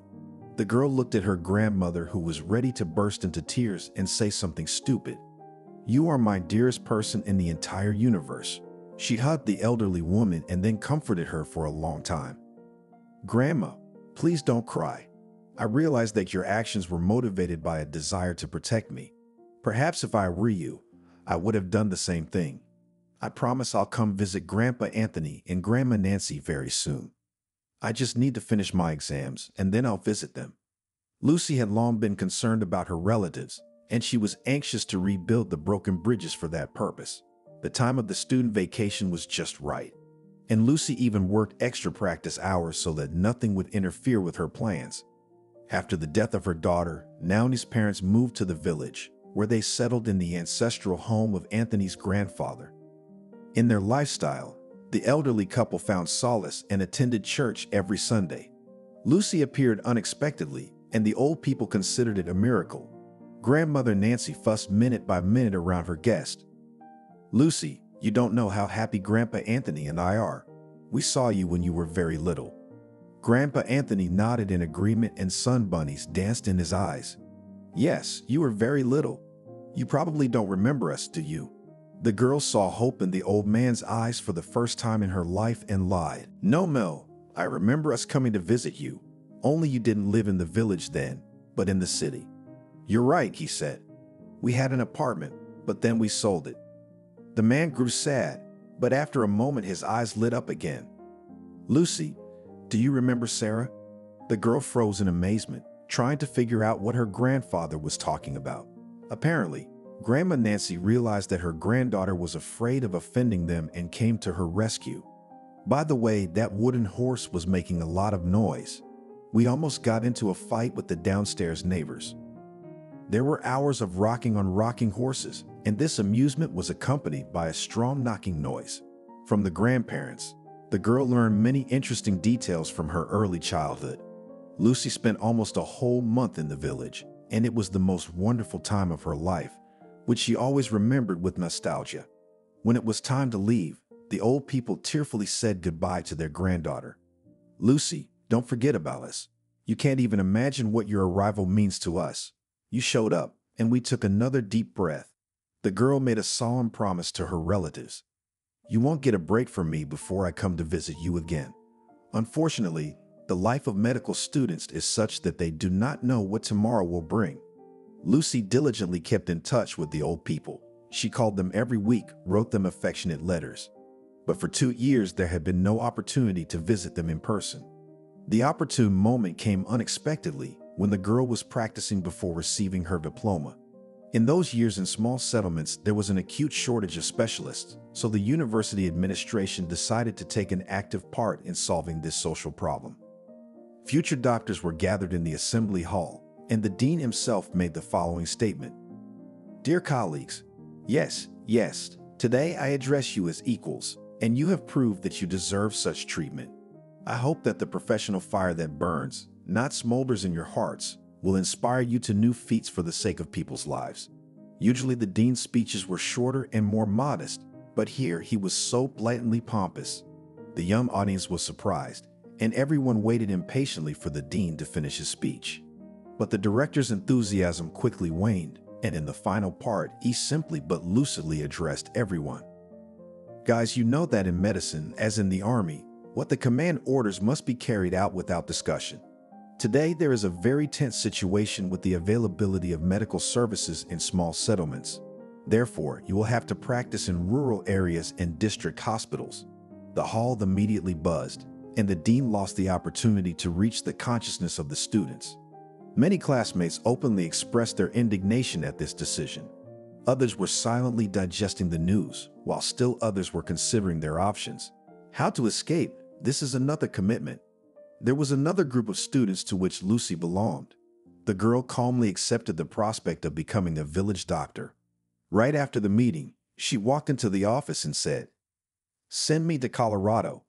I know for a fact that there is no doctor there, only one paramedic.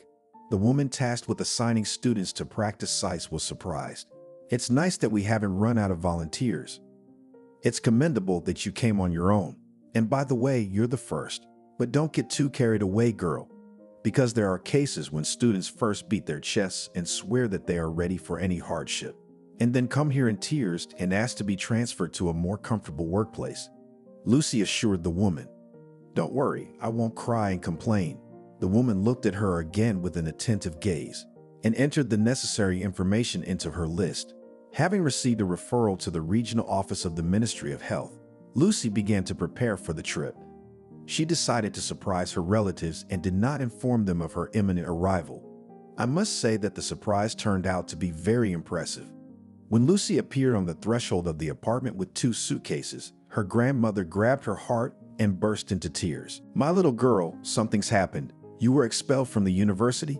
The girl realized that she had made an unforgivable mistake by putting her grandmother's health under stress. She tried to correct this mistake. Grandma, it's okay. I was not expelled. I'm here for my internship. Lucy froze, hoping to make her grandmother laugh, but she was still in shock and looked reproachfully at her granddaughter. How can you scare an elderly person like that? You could have warned her about your coming, for decency. The grandmother walked for a few minutes with a resentful look helping the guests to distribute things. Then she looked fondly at Lucy, my favorite granddaughter, and I didn't even believe that I would live to see this day. Lucy, as a child, hugged her grandmother and closed her eyes. Lucy, what are you saying? You taught me to believe and not to give up until the end, and I've always followed that code to the letter. Besides, your joy is a little premature because I'm not here for good. She didn't hide her disappointment. I thought, darling, my internship will last a few months, so we'll have plenty of time to socialize. The old woman cheered up again. Did they send you to our neighborhood hospital? No, grandmother, we have such beauty. The girl hugged Anna we again. That is, me and my classmates had the high honor of saving rural medicine. I'm going to Colorado. The situation there is catastrophic. Lucy braced herself for her grandmother's tears, but to her surprise, she was delighted. So it's in the same piece of Pompeii. Does that mean you can stay with Grandpa Anthony and Nancy? I was going to visit them for a month too. It was time for Lucy to be surprised. Wow, did I miss something? Since when did you two start visiting each other?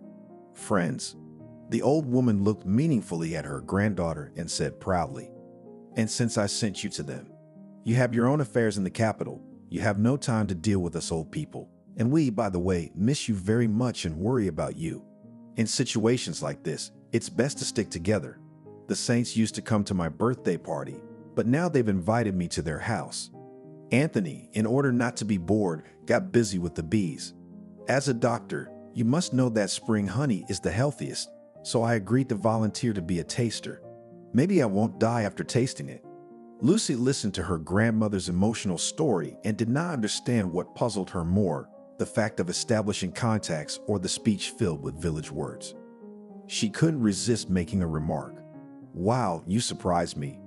Where did you pick up such expressions? The old woman didn't even bat an eye. And I like it because every dialect has its own unique verbal expressions. If you want to reveal the genesis of people living in a certain territory, yes, you got an amazing and incredible mixture of biology and philology, playfully winked at granddaughter Lucy. That's what our people are based on. The girl decided not to enter into unnecessary arguments, and it is unlikely that such a duel would end with her victory. Perhaps the news of the reconciliation of the two sides was the most joyful of the day. And at the end of the week, Lucy went to the place of her internship, as promised, also moved to the village for the summer. Thus, the elderly relatives created a strong support for their beloved granddaughter. After all, the novice general practitioner had no time even for a quiet lunch. As soon as the local population learned about the appearance of the young doctor at the paramedic station, crowds of sick and just curious citizens flocked here. Lucy did not refuse anyone because she had no moral right to do so. People often knocked on her door in the middle of the night and asked for help on weekends. One Sunday morning in August, Ariana came to her in a luxurious foreign car. From that day on, the girl's life took a sharp turn, and the main priorities shifted from public interest to personal ones. Experienced people say that in order to become a real soldier, you need to withstand the first battle with dignity. This military truth finds confirmation in medicine as well. Just for a month of work in the village medical station, Lucy learned a lot of things that she had not even suspected before. But the main conclusion the young doctor made in the first few days life is not as it is described in textbooks, she had been warned about it by a paramedic who had been carrying the burden of the problems of a rural institution on her shoulders for many years. Perhaps it was that burden that sometimes drove Jacob to drunkenness. On her first day on the job, Lucy smelled the odor of alcohol coming from her older colleague. Noticing her grimace, the man said cheerfully, Yes, I know I'm not a very pleasant odor, but that's just a side effect of the previous evening. I don't indulge in strong drinks on weekdays, but the smell in the paramedic's office. The girl realized that he celebrates holidays almost every day. Since she was a temporary person in the rural health facilities, she decided to ignore the habit of the older comrade. Jacob started his internship in an unusual way. He decided to talk a little about the works of a great classicist. Lucy, did you notice that I have the same name as a literary genius? Most likely, the man expected the girl to be embarrassed but she answered without hesitation. Of course, it is impossible to pass by such a similarity indifferently. But despite all the problems that exist today, you are still more fortunate than Michael. Jacob was puzzled. I wonder what that luck is. Everything. You can't deny that today's conditions are much better than they were at the end of the 19th century. The paramedic crossed his arms across his chest. Really, Lucy, you've cracked me up. I can see that you are not only good at medicine, although it is known that the writer also liked to drink and prod. But Michael wasn't prone to excess and always kept to moderation. Jacob raised his hands in surrender. I give up. I can't argue with you. I have to admit that it would be a pleasure to work in tandem with such an intelligent and, moreover, beautiful girl. Throughout her years of study, Lucy had been diligently accumulating knowledge. However, Despite the extensive knowledge she had gained at university, the young specialist felt insecure in her first days. That is why Jacob was always there to support the young doctor in case of difficulties. He spoke several times a day. Don't doubt it, Lucy. I am below your rank, but experience is a great thing. In my field, I can make a diagnosis simply by breathing and pulse. I know everything about every patient. People trust me. I value that trust very much. As the first days of the appointment showed, the paramedic exaggerated these assurances. Visitors flocked, but everyone was eager to get to the young doctor. At first, this nickname in the style of Allah annoyed the girl, but she quickly got used to this treatment. Lucy also got used to the constant absences of her older companion. The first time Jacob asked her, his eyes glittering suspiciously, Lucy, could you cover for me for a couple hours? She answered without hesitation. Sure, do you have any problems? The man was slightly embarrassed and muttered, Yes, there are some domestic difficulties. Well, you mind your own business and I'll handle the reception alone. Are you sure we won't have an inspection today? Not a week later, Jacob made the same request again, but this time he was a little more brazen. Lucy, I need your help one more time. Are you in trouble again? The paramedic grinned. Not again, but still. I guess I'm just unlucky or something. Trouble just keeps coming at me. Before I can even deal with one problem, another one comes knocking at the door. My wife's mother showed up unannounced. The girl shrugged her shoulders in surprise. It seems to me that when relatives come to visit, it's a joyous occasion. But this relative can spoil everything. And believe me, there is no joy from her, only trouble. The paramedic thought his joke was a good one and burst into laughter. Lucy did not share his cheerful mood, thinking his colleague's remark inappropriate. She said indifferently, All right, Jacob, I'll let you go. Some time passed, and the paramedic disappeared again without warning. It was the height of the rowing season when suspected poisoning was on the rise among patients who could get to the paramedic station on their own. Lucy took calls on the spot in between waves of patients and also had to cycle to neighboring villages. It was in this real-life situation that an expensive foreign car pulled up to the paramedic station. Ariana, she threw Lucy a condescending glance. So you're the new doctor? Yes, that's me. If you have an appointment, come into the office. The visitor laughed. Well, I'm not really worried about my health. I'm fine because, unlike some people, I don't eat junk food. To speed things up, the doctor asked, Has anyone close to you been sick? The woman raised her perfectly straight eyebrows disapprovingly. Well, how should I put this? I don't even know the right way to say it. My ex-husband ate something and now his stomach hurts. I wanted to call an ambulance, but my neighbor said it was useless. She advised me to come to you. I understand. Just a moment. Wait. I'll pay for the emergency kit. Tell me your address. I'll be there shortly. We are located off Chicago, Building B, Chicago. Lucy froze. But Chicago is not in our neighborhood. Seeing Lucy heading back with the kit, the visitor stirred. The arrogance disappeared from her leathery face, and she even grabbed Lucy's arm. Doctor, dear Lucy, don't leave me in this difficult situation. Understand that someone very close to me is in critical condition right now. The woman looked at her pleadingly and Lucy felt uncomfortable. Okay, I will examine your patient. You said your spouse ate mushrooms. The woman smiled obediently and corrected the doctor. Yes, my ex-husband loves culinary experiments, and it's useless to tell him that it's very dangerous. I have a car, I'll take you there and then bring you back. Already sitting behind the wheel, the woman introduced herself as Ariana. But you can call me Ariana. I don't mind. I can't stand conventions at all. Our society has a distorted view of family relationships. I completely reject all conventions. Ariana was an experienced driver.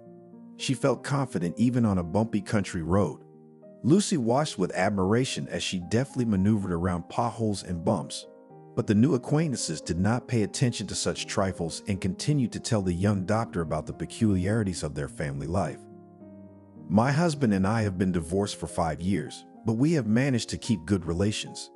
We have a business together and our friendship has a positive effect on our business. Lucy was about to say something neutral when the woman interrupted her. We're almost there. See that two-story cottage? That's our country house. After the divorce, we didn't divide the property like some people do. We decided it would be much easier to live together. Lucy couldn't resist asking, And how do you manage that if it's no secret? It's very simple. We set up a visiting schedule so we don't overlap on the grounds. Tim, that's my husband's name, comes here on certain days. I stick to my schedule too. And if there are any special situations that arise that go beyond the schedule, that is also easily solved. You just need to inform your companion about force majeure. But Lucy had no personal experience of married life. Her grandparents adhered to completely different principles. Therefore, she could not judge other people's family life. Although Ariana surprised her with her frank story, the girl quickly turned her attention to her professional duties.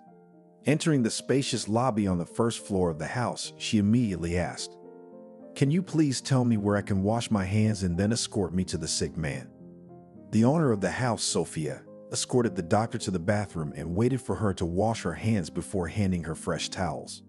The patient was in a small room on the first floor. Ariana opened the door and announced in a tragic voice, Tim, I brought the doctor. Get ready to be examined. In the room, Lucy could barely make out a man lying on a pile of pillows. She asked the landlady to pull the curtains open. Please, the curtains. It's so dark and stuffy in here. And she hurriedly complied with the doctor's request. Sunlight flooded the room and the man frowned. I could slap you, Lucy reassured him, but then you'd die. What are you complaining of? Weakness, severe nausea. I was sick last night too, and my stomach hurts. Walking doesn't hurt much. Watching the examination from the sidelines, Ariana decided it was time to speak up. Doctor, without an examination, I can tell you that Tim has food poisoning.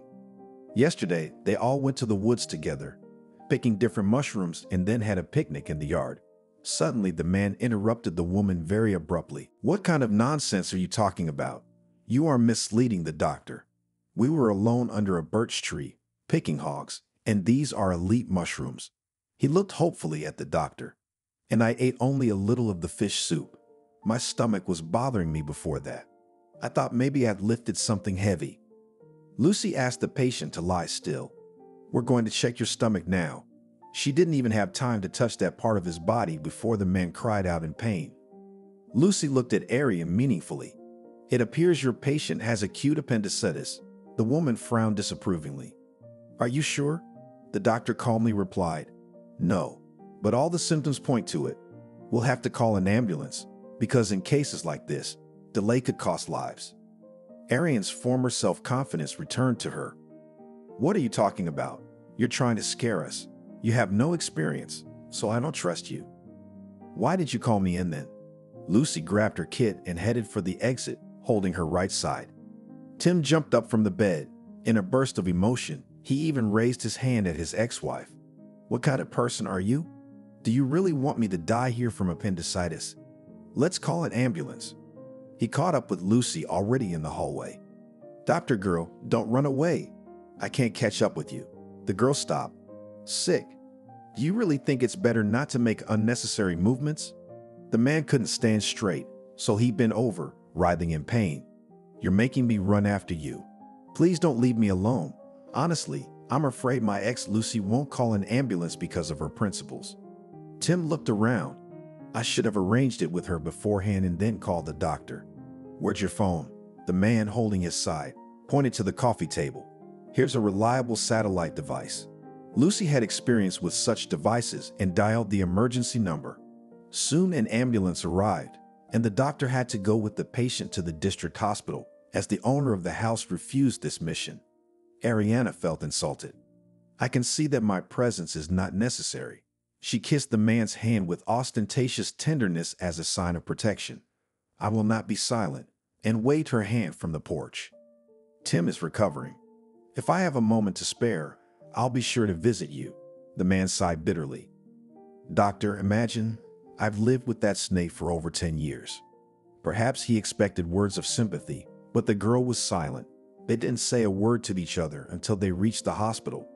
From the emergency room, the patient was quickly transferred to the operating room. The doctor on duty praised Lucy. You did well, colleague. You worked quickly and correctly diagnosed the patient.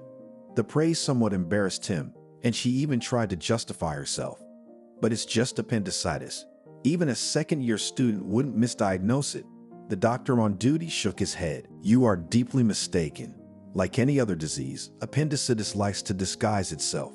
So consider yourself lucky today. Consider that luck an accomplishment. The appendix literally burst in the surgeon's hands. Another half hour and we would have had peritonitis. After saying that, Lucy couldn't just go back to Colorado. With the surgeon's permission, she visited the patient. Tim's face was paler than a sheet, but he was smiling. Tell me, what's your name? My visitor? Lucy, I mean Lucy? Thank you, Lucy. He kissed her hand, and that kiss burned with fire until the evening. The next day, the girl remembered the sick man she had saved and his kiss. Even Jacob noticed the girl's strange behavior. Lucy, what's the matter with you? You're glowing. I would have thought you were in love. Lucy caught his co-worker's eye. Jacob, you have a strange idea. Unfortunately, love is not a small thing, but the ultimate reward. Lucy looked at the paramedic in surprise. Those are just pretty words. In real life, it's different. Jacob only smiled, but he kept his opinion. A little time passed, and the girl changed her views on love and life. After being discharged from the hospital, the businessman with a talking surname went into the paramedic station to once again express his gratitude to the young doctor. He did it beautifully and pompously. First, he scattered snow white roses on the porch. And then, right from the porch, he made a fiery speech praising the humble village doctors who selflessly saved the lives of ordinary people. The residents of nearby houses gathered to watch this colorful performance. And Tim, surprised by the speed of the grapevine, was impressed. Tim's show was spectacular, and it couldn't have been more different. After all, improvisation was the businessman's favorite skill. During the years of hard life, when there were only piranhas and hyenas around you, the man excelled in this art. However, the modest inhabitants of the small village were content with more modest spectacles, even on television, so they almost clapped their hands with delight, and the elderly matrons even wept secretly. How beautifully he arranged everything, just like in the movies. How lucky our doctor. Delighted sighs came to Lucy, and she even mentally noted that the villagers recognized her as their own. To realize this sense of community was as pleasant for the girl as watching Tim. Lucy had never felt such strong emotions in her life. At those moments, she was insanely happy and thought that such a man could only be a dream. If I were lucky enough to meet such a man, I would love only him for the rest of my life. Perhaps it was at that very moment that her thoughts were poetically transmitted to the fairies she believed in as a child. The sorceress, with the help of her all-powerful wand, instantly turned the girl's life around after an epic performance on the shabby porch of the village dad. Tim decided not to waste any time and immediately proposed to this Lucy. The girl accepted without a second thought. She did not even suspect that the businessman fully coordinated this important step with his first wife. The main feature of their marriage with Tim was his ex, Lucy Ariana. When Lucy saw her rival's name on the guest of honor list at their wedding, it caused her sincere indignation. Tim, I'm sick of this. It's like your ex Lucy is everywhere. You can't even hide from her at night. I wouldn't be surprised if one day your Ariana crawls out from under the bed at the most intimate moment. The man listened to Lucy, smiling guiltily, and answered Lucy calmly, You and I are modern people, so it is not appropriate to start our life together with scandals and quarrels. I can tell you one thing. Ariana has done a lot. Basically, she made me a prominent figure in the business world. And although our marital relationship has long since cooled, we try to maintain business ties and that's worth a lot. The girl wryly remarked, I can't judge because I have completely different values. At that moment, she was most surprised not by her husband to be statement, but by the way Tim uttered this monologue. The man said it all in a calm tone, but made it clear that Lucy's opinion did not matter much to him. The girl decided not to aggravate the situation before the wedding, but after the celebration, such episodes were repeated regularly.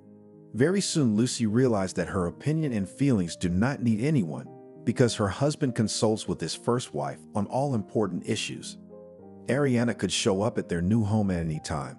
Without any shyness, she gave advice to young Lucy of her ex-husband. Acquaintances even admired the nobility of this woman. Ariana is the epitome of decency. Our planet counts on women like her. Where else can you find such an example of self-sacrifice without any selfishness? she helps her ex-husband's young lady in waiting. Lucy herself, as well as her elderly relatives, did not share such enthusiasm. The old people were horrified by the news that their granddaughter is marrying a capital city businessman. Anna, endued with Nancy's grandmother, recited for days on end. Lucy, this is crazy. I don't understand what this man has done for you.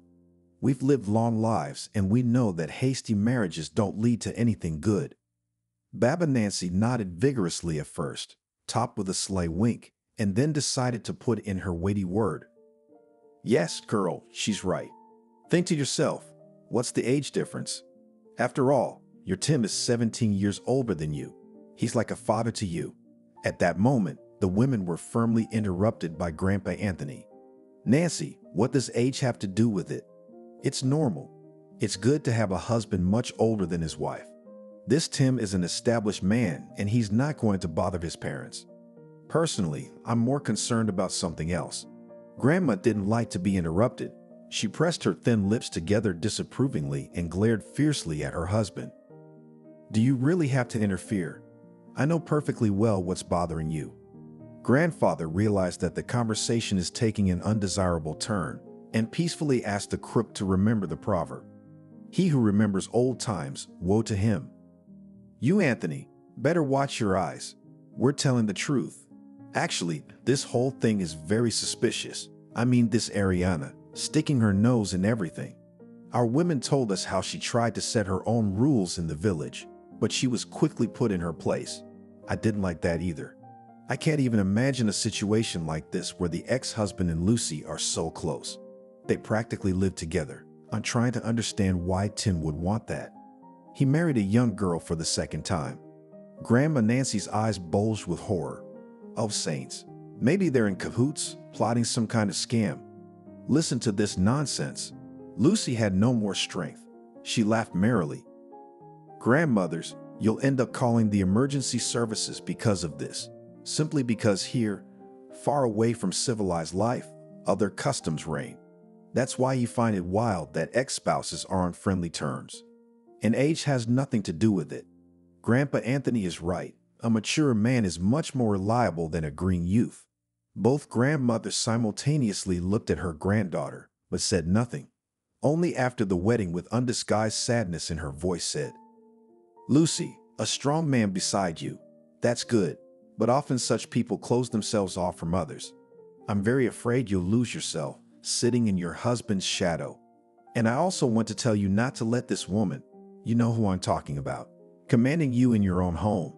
The girl knew her grandmother had a keen sense of foresight. She remembered the warning and tried to resist her husband's influence, but it didn't last long. The first line of defense collapsed when Tim demanded that his young wife quit her job a few months after the wedding. Lucy, I need a calm and loving Lucy.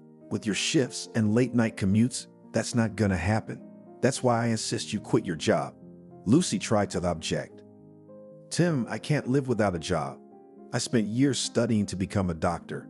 My parents also devoted themselves to this noble profession.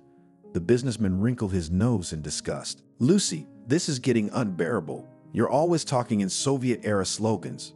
Your old folks really pumped you up. But times have changed now. You are my Lucy, and I am able to provide for you and our future children. The day after this conversation, Ariana showed up unannounced. From the expression on her face, Lucy realized that she had something to say to her. And that hunch was confirmed as they drank tea together. First, Lucy Tim informed her knowledgeably. I didn't want to tell you, Lucy, but our marriage to Tim broke up for many reasons. But chief among them was my reluctance to quit my job. At the time, I was just starting to get my career off the ground. I had a good position and a high salary. Plus, I had a son. You probably didn't know that Tim, as they say, took me in with child. Lucy looked at her interlocutor in surprise.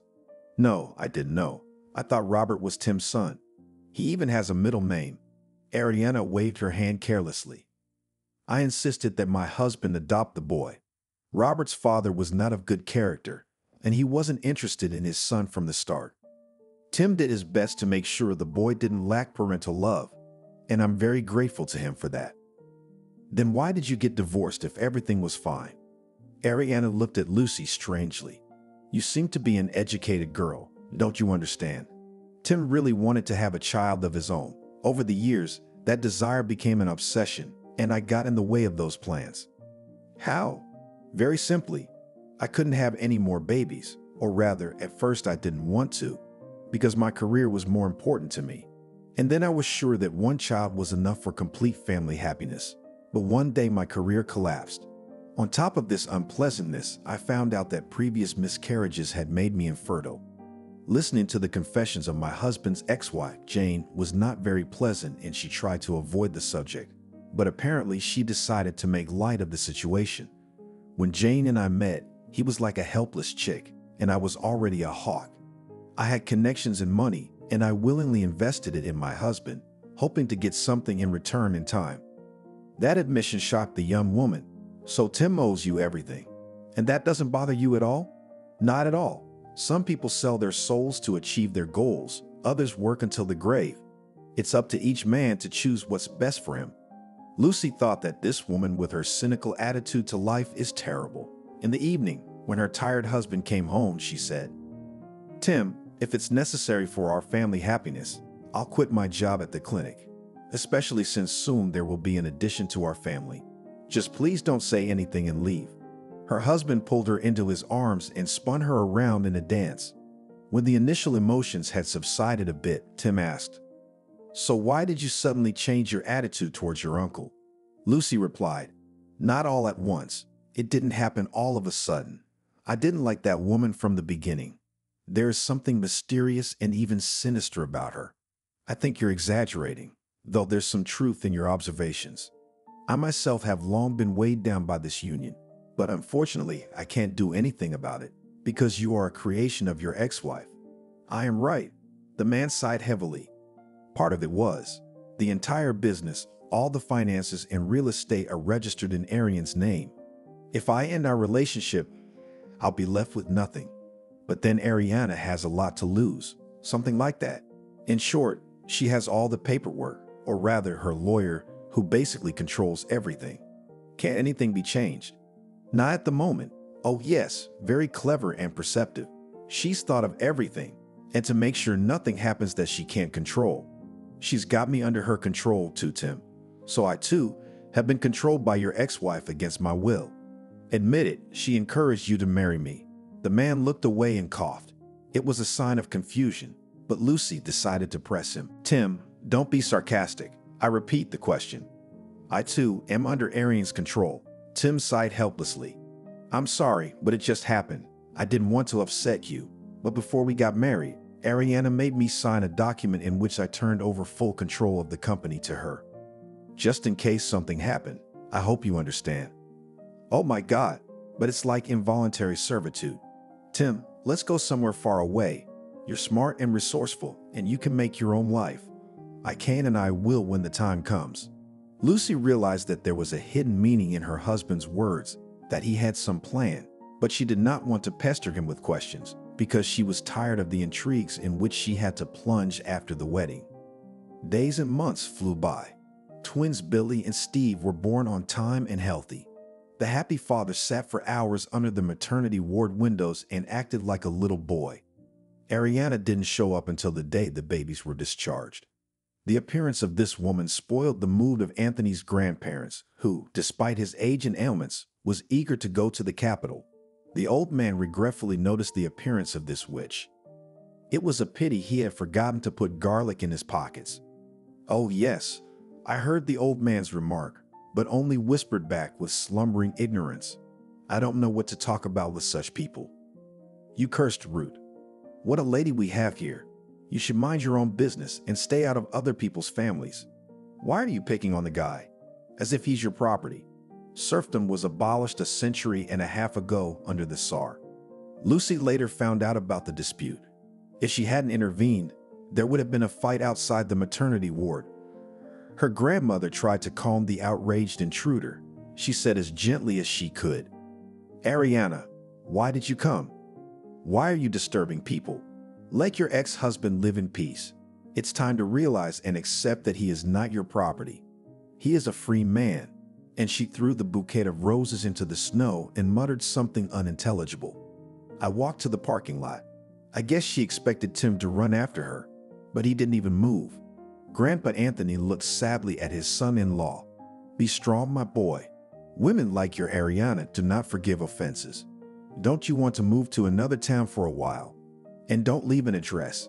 The couple decided to follow the old man's advice and soon settled in the apartment. Of course, this move was incomplete because Tim could not leave his business. He regularly traveled to the capital and often stayed there for several days. This arrangement suited Lucy, but when her grandmother died, the young woman realized that she could no longer stay in the apartment where everything reminded her of her loved one. She decided to sell the apartment as she was constantly busy with her children. She entrusted her husband with the task. They quickly found a new, more spacious apartment. Lucy again entrusted the transaction to her husband. The woman did not pay much attention to the fact that her husband registered the new apartment in his name. Only after almost 10 years she bitterly regretted her frivolous attitude to such important issues. Almost 12 years of married life flew by like a blink of an eye. During these years, the family has experienced both joys and sorrows. Lucy more than once thought of divorce, but now, after the tragedy, all the disagreements and disputes she considered unimportant trifles.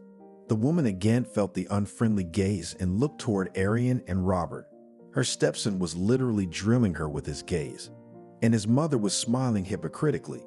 The widow sensed something in those hostile glances that made her wary. For she had studied the character of her predecessor well enough. Ariana was clever and resourceful. She did nothing without reason. She was also a mysterious woman and loved ambiguity. Lucy remembered how in yesterday's phone conversation, she had specifically hinted at some circumstances that would change everything after the funeral. It made the girl tense up.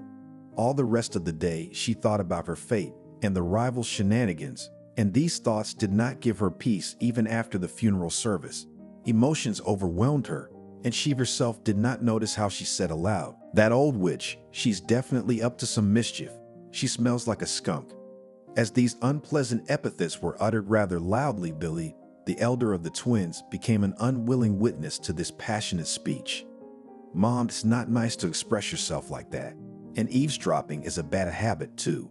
You were yelling so loud it was impossible not to hear. I suppose Aunt Ariana finally got to you. Billy, what kind of slang is that? I'm taking after you. Now all we have besides you is ourselves. Ariana doesn't count because she's not family. Yeah, well, to be honest, my brother and I can't stand her. Lucy paused for a second and sighed. I don't like her either. Lucy sank back into her thoughts while her son watched her absent-mindedly chopping cabbage. The woman thought sadly that her husband's death didn't seem to have affected the boys much. They took the sad news surprisingly calmly, and at the funeral, they didn't even shed a single tear. Of course, such indifference caused her mother surprise and fear. Lucy thought it was the perfect moment to point this fact out to her 10-year-old son. Billy, maybe I'm wrong, but I don't think your father's death made any impression on you or your brother. The boy looked into his mother's eyes and philosophically remarked, Man is mortal, and we all find ourselves on the other side of reality sooner or later. Daddy didn't die, he just passed into another world. The woman hugged her child. You've been reading a lot of nonsense and fantasizing. It's easy to talk about parallel worlds when you're not burdened with responsibilities. The son interrupted impatiently. Do you think things will be different for us now? Of course, it's going to be very difficult without Daddy. In the kitchen, behind Steve's back.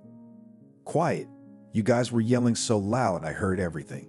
The boy walked around the table and approached his mother. On the other side, Mom, you don't even have to worry about the hardship.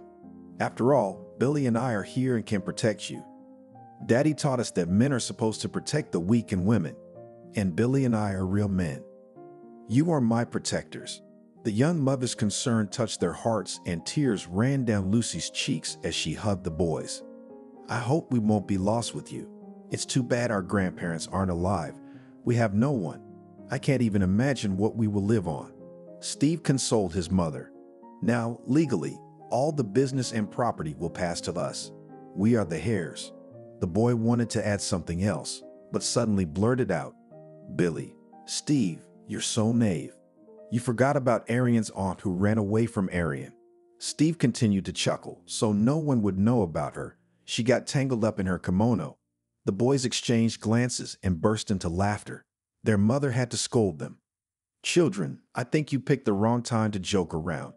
Have you forgotten that your father is dead? Billy looked at her ingratiatingly. We can't cry all the time. The funeral's over, and we all have a life to live. Believe me, Dad would have told you the same thing. Remember, he didn't like sour faces. Lucy smiled. Yes, your father was a man of good cheer. The pleasant memories came flooding back into the woman's mind, and at that moment the phone rang. The twins exchanged glances, and Steve rushed to the door with an exclamation. Surely that bloody aunt must have come to see us. Lucy hurried after her son into the hallway, where Ariana was already standing with a disgruntled look. Lucy, you need to get down to the business of raising your sons. I'm sure Tim would not approve of this behavior. The guest grabbed Steve's arm and looked at him disapprovingly. Can you talk about adults like that? Who taught you bad language, boy? The boy jerked his hand away. And who taught you to grab other people's children? You have a son of your own? Then grab him. Lucy felt uncomfortable, though she was not pleased with the guest's appearance. Children, go to your room. We need to talk to Aunt Ariana. The twins wandered off and headed for the children's room.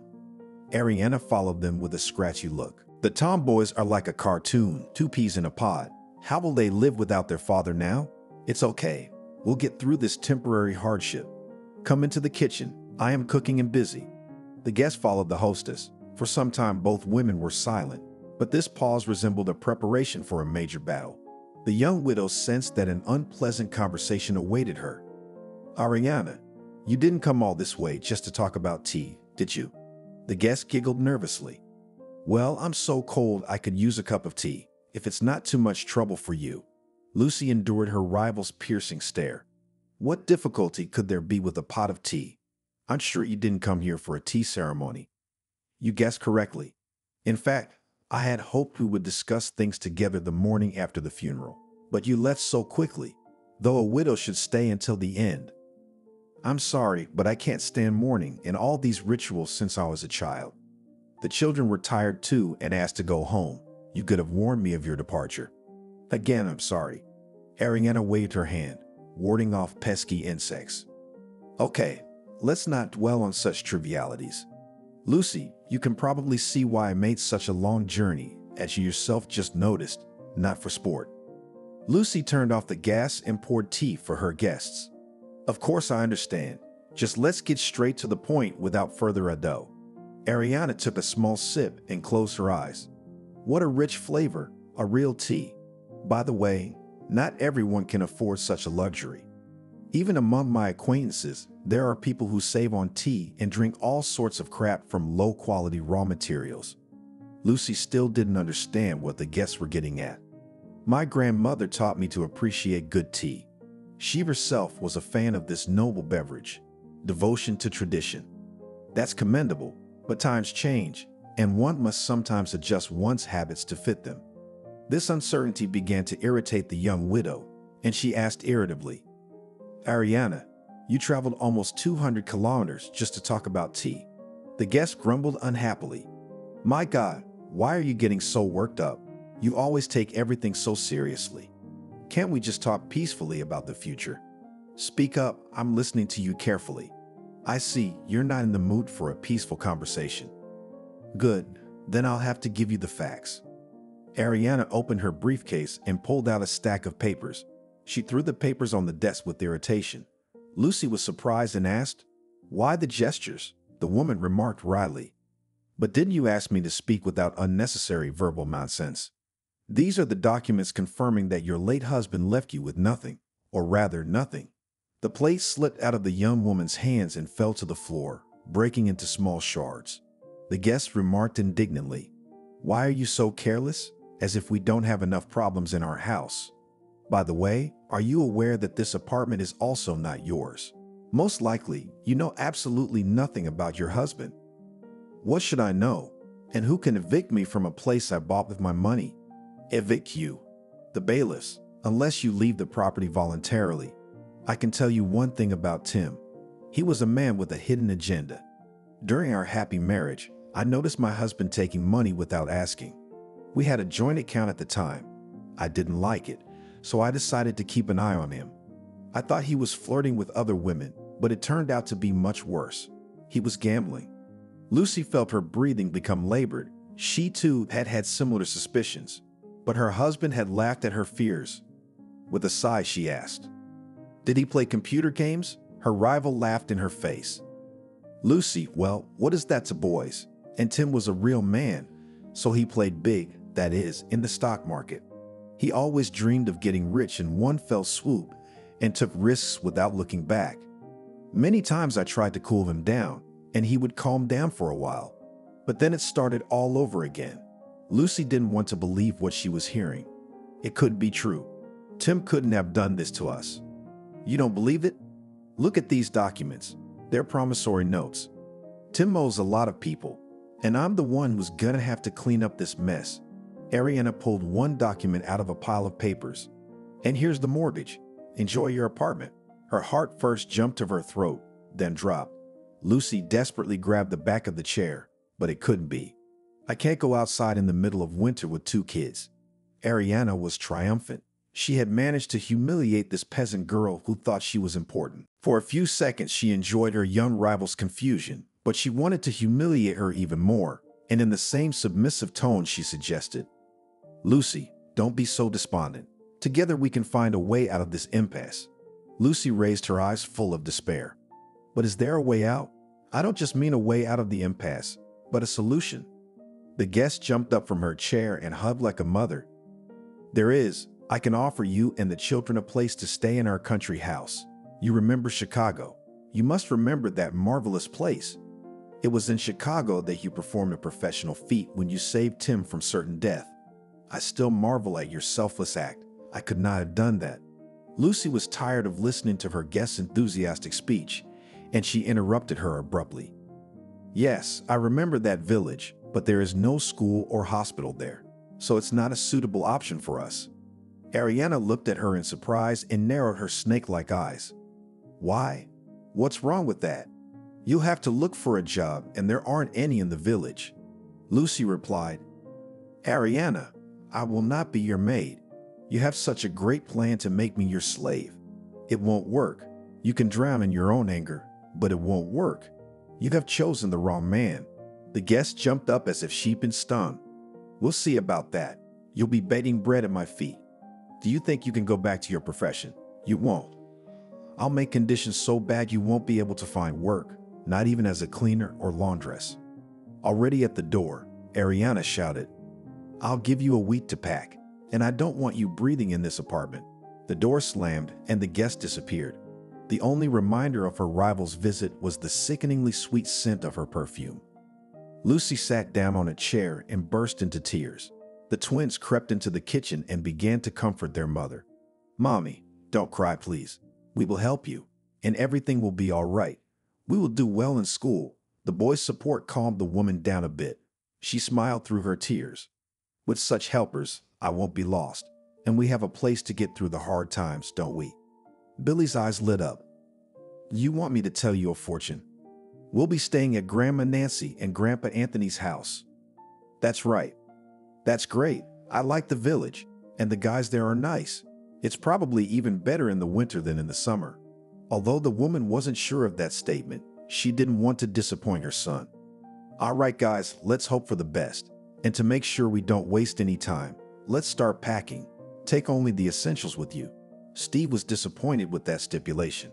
So I can bring a construction kit? Does that mean toys aren't on the list of essentials? The boy sighed sadly. Can I bring books? only the essentials. Steve muttered something to himself, but he didn't dare argue with his mother. They had two days to pack. Lucy wanted very much to spite her rival. After thinking about it, she decided to organize an urgent sale of furniture, dishes, and household appliances. Some of the things were bought by neighbors, and part of it she gave to a large family from a neighboring house, taking into account the proceeds. The widow was very pleased. For a few months, we will lead a carefree existence and then we'll see. She tried not to think about the future because the unknown frightened her. They spent the last night in an empty apartment. They had to sleep on the floor, but the boys, tired with excitement, paid no attention to the inconvenience. As soon as their heads touched the pillows, they fell asleep. And the widow, she enjoyed imagining Ariana boiling with indignation when she saw the completely empty apartment. The next morning, Lucy couldn't resist calling Ariana. We've vacated the apartment. You can use it. I hope we don't owe you anything else. Radish shouted into the receiver. Wait, don't hang up. I wanted to do something nice. Lucy disconnected the phone, then pulled out and snapped this SIM card. I don't believe you, and I know for a fact that dangerous acquaintances should be cut off without hesitation. Of all the valuable possessions she could freely dispose of, there was the budget sit-in given to her by her elders for her 30th birthday. Of them she remembered with warmth and gratitude. Thank you, my dear ones. Your gift is simply invaluable in this situation. It's a wonder Ariana hadn't gotten her hands on that car sooner. On her last night in the apartment where the happiest years had flown by, she thought of Tim. She was hurt that the husband she loved had allowed a complete stranger to run their family's life. The woman whispered all the way, where are you? Where are you? What have you done? There was a moment when the image of her late husband appeared before her eyes. This vision did not frighten the widow, but on the contrary, pleased her. Tim looked guilty and smiled as if he wanted to say something in his own defense. Lucy, in her childhood and youth, she read a lot and was always amazed at how different authors described the moment of the hero's return to this homeland. There was no way she expected to feel excitement on the way to Colorado. The closer she got to her destination, the more anxious she became. It was a very strange feeling, for she had not been born in this place, not in a village among the forests, but in a city. Billy noticed his mother's anxiety. Mom, well, why are you so nervous? Calm down, or we'll have an accident like this. Steve patted his brother on the head. Shame on you. Remember what Grandma Nancy said. You can't say anything like that on the road. Mama's worried enough as it is. And you're just putting your own words in. But Billy could no longer be calmed. He decided to remind his older brother and warn him of the consequences of disobedience. Remember how Grandma said you had a nail sticking out in one place? That's why you need to be watched. If you start being naughty, Mom and I will take you to the woods and leave you there. Steve only laughed and wasn't scared. I feel at home in the woods. When we went camping as a class, Barbara told us how to behave in extreme situations to survive. Billy learned his lesson quickly. The travelers showed up when the whole class could be heroes. I want to see you whimper with fear when you're alone. The brothers' faces burned with anger. They were ready to lash out at each other, but Mom, who was watching their argument in the mirror, warned them, If you don't calm down now, I'll throw you both out of here, and then you'll have to walk to the village. The prospect of walking to the village, with man-high snowdrifts on both sides, dampened the quarrelsome fervor. The brothers made disgruntled faces and fell silent. The last time Lucy had been in the village was more than two years ago.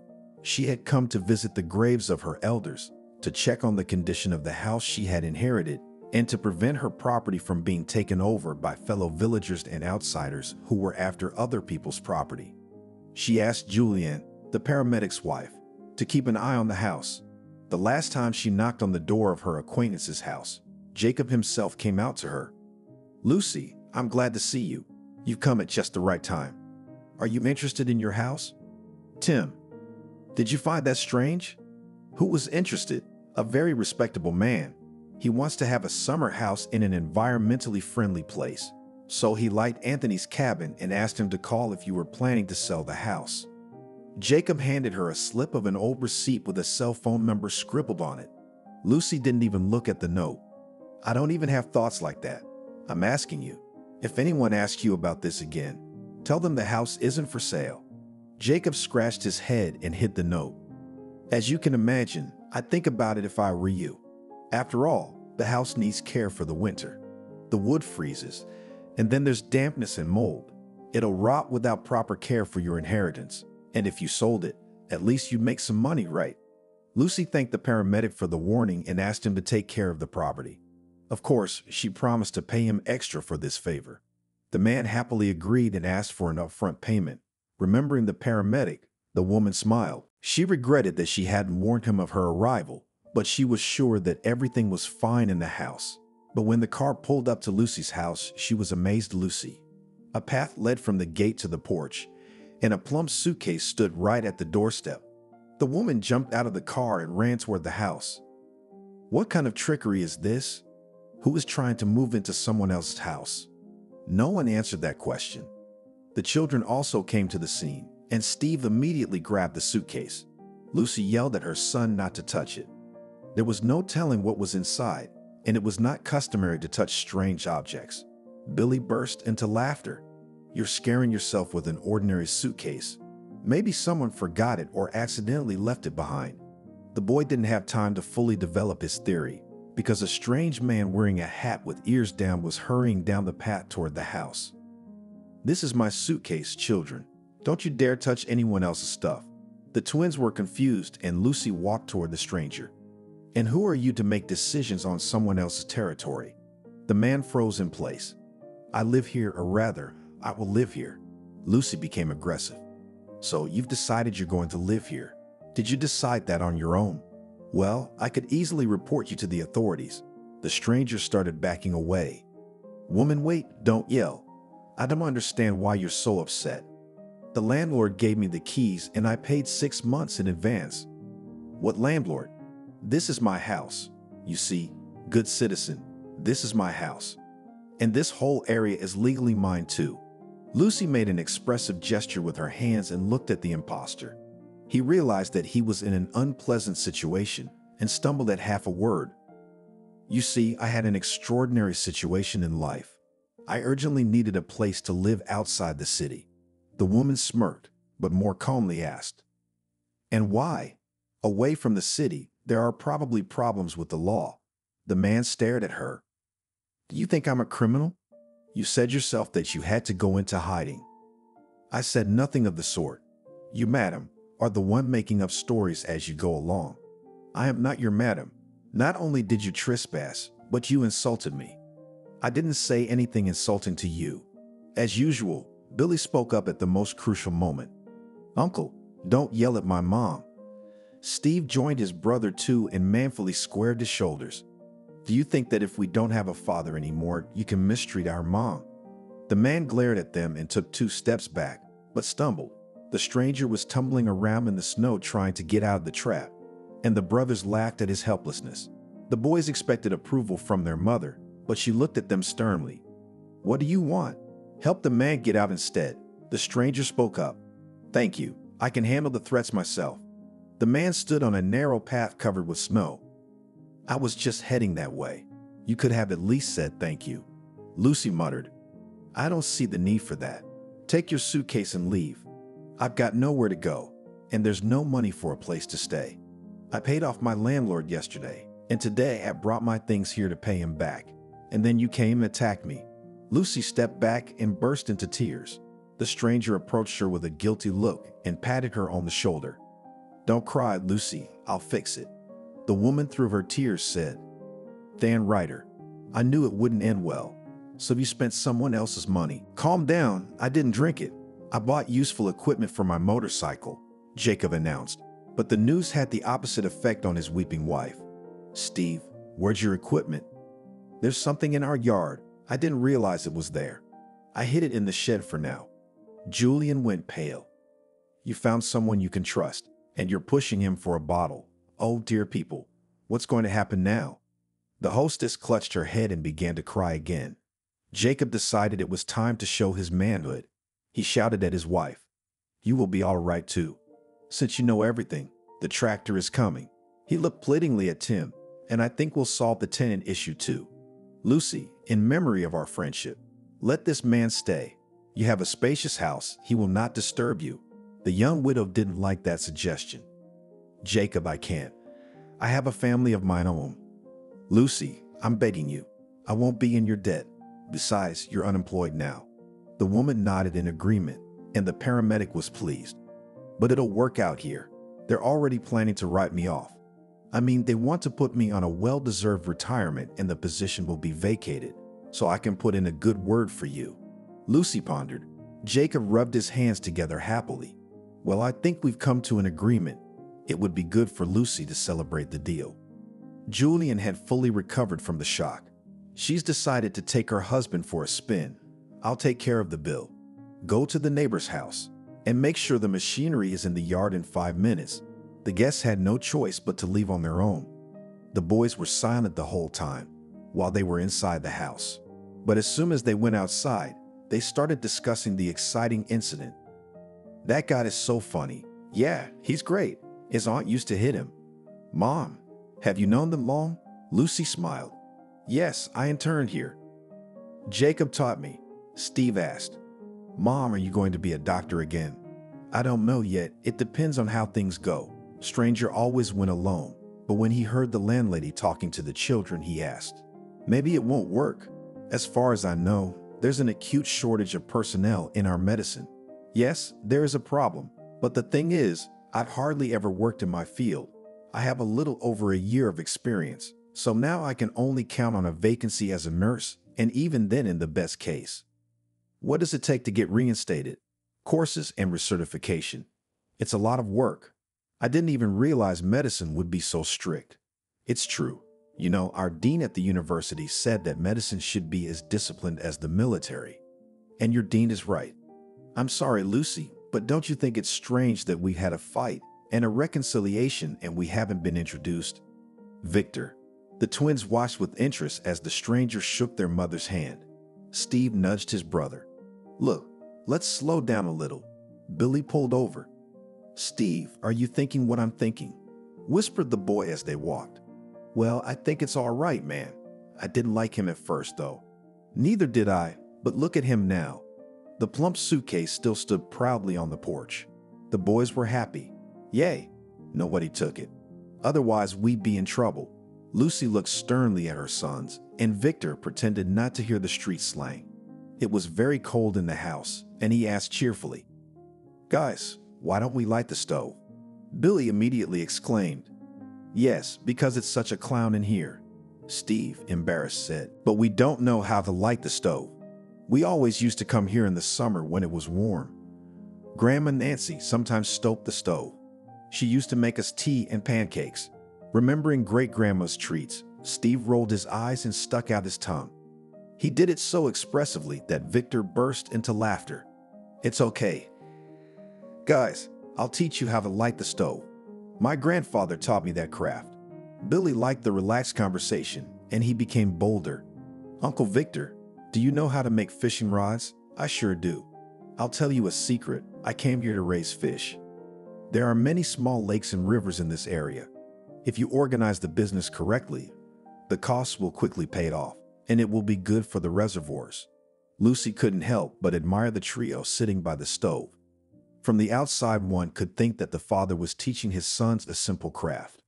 A thought flashed through the woman's mind. Tim never talked to the children, so plain and simple, he was always in a hurry to get somewhere. The next day, the friendship between the twins and the tenant began to take new forms. The boys found old skis in the attic, and Victor patiently taught them how to handle this equipment. In the evening, problems with the wiring were discovered, and the tenant quickly solved this issue for the boys. The guys watched him closely and followed his every word. Lucy watched this idyllic scene and felt almost happy. Winter passed imperceptibly, replaced by spring, and then came the long-awaited summer. Life in the house of the young widow fell into its usual course. Lucy spent the whole day at the medical center. Her candidacy was gladly approved by the regional health department, and her little practical experience did not prevent it. Victor also cozily settled down on his side of the house. He diligently and without reminders fulfilled his male duties, and the twins followed him like puppies. In winter, the tenant brought a car from the city and sadly remarked, Too bad you don't have a garage. Lucy seconded him. I too am concerned about this circumstance. My car is very sensitive to change, and the weather has been unstable lately. Therefore, the children often have to walk to school which is more than two kilometers one way. Lucy, why didn't you tell me about this problem before? I can easily take the kids to school and check your car if you trust me. She looked into his eyes but saw nothing but a genuine desire to help. Thank you. You'll be doing me a huge favor. The brothers were overjoyed, but when they found out they'd be driving around in a fancy car, Steve Victor choked up with excitement. Billy, imagine how surprised everyone's gonna be. This isn't your mom's ear that sneezes every hundred yards. Although it was unpleasant to hear such comments about her car, Lucy kept silent. She didn't want to admit to herself that Victor had quietly but firmly entered their lives. They lived together peacefully enough under the same roof. And the woman did not want to think that one day he would leave their home. Most likely, the apartment also thought about parting. One day at dinner, he said sadly, You know, Lucy, my life has changed a lot these past few months. I lost my family a few years ago.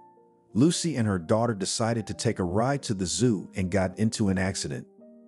Lucy died on the spot, and the doctors tried to save her daughter, but they couldn't. It was the first time a man had ever spoken so openly to her, and Lucy was taken aback. I didn't know anything about your personal tragedy. I'm so sorry for your loss. Thank you for your kind words. I know you've been bereaved recently too the boys told me. Yes, my husband was killed in a stupid accident.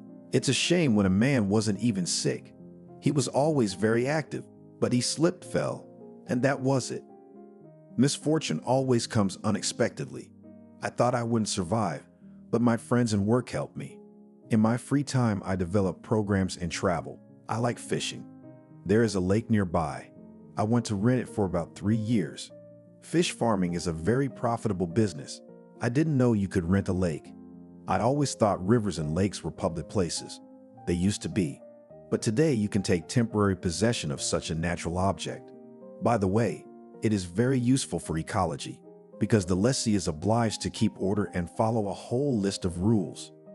If you are interested, I can organize a tour for you.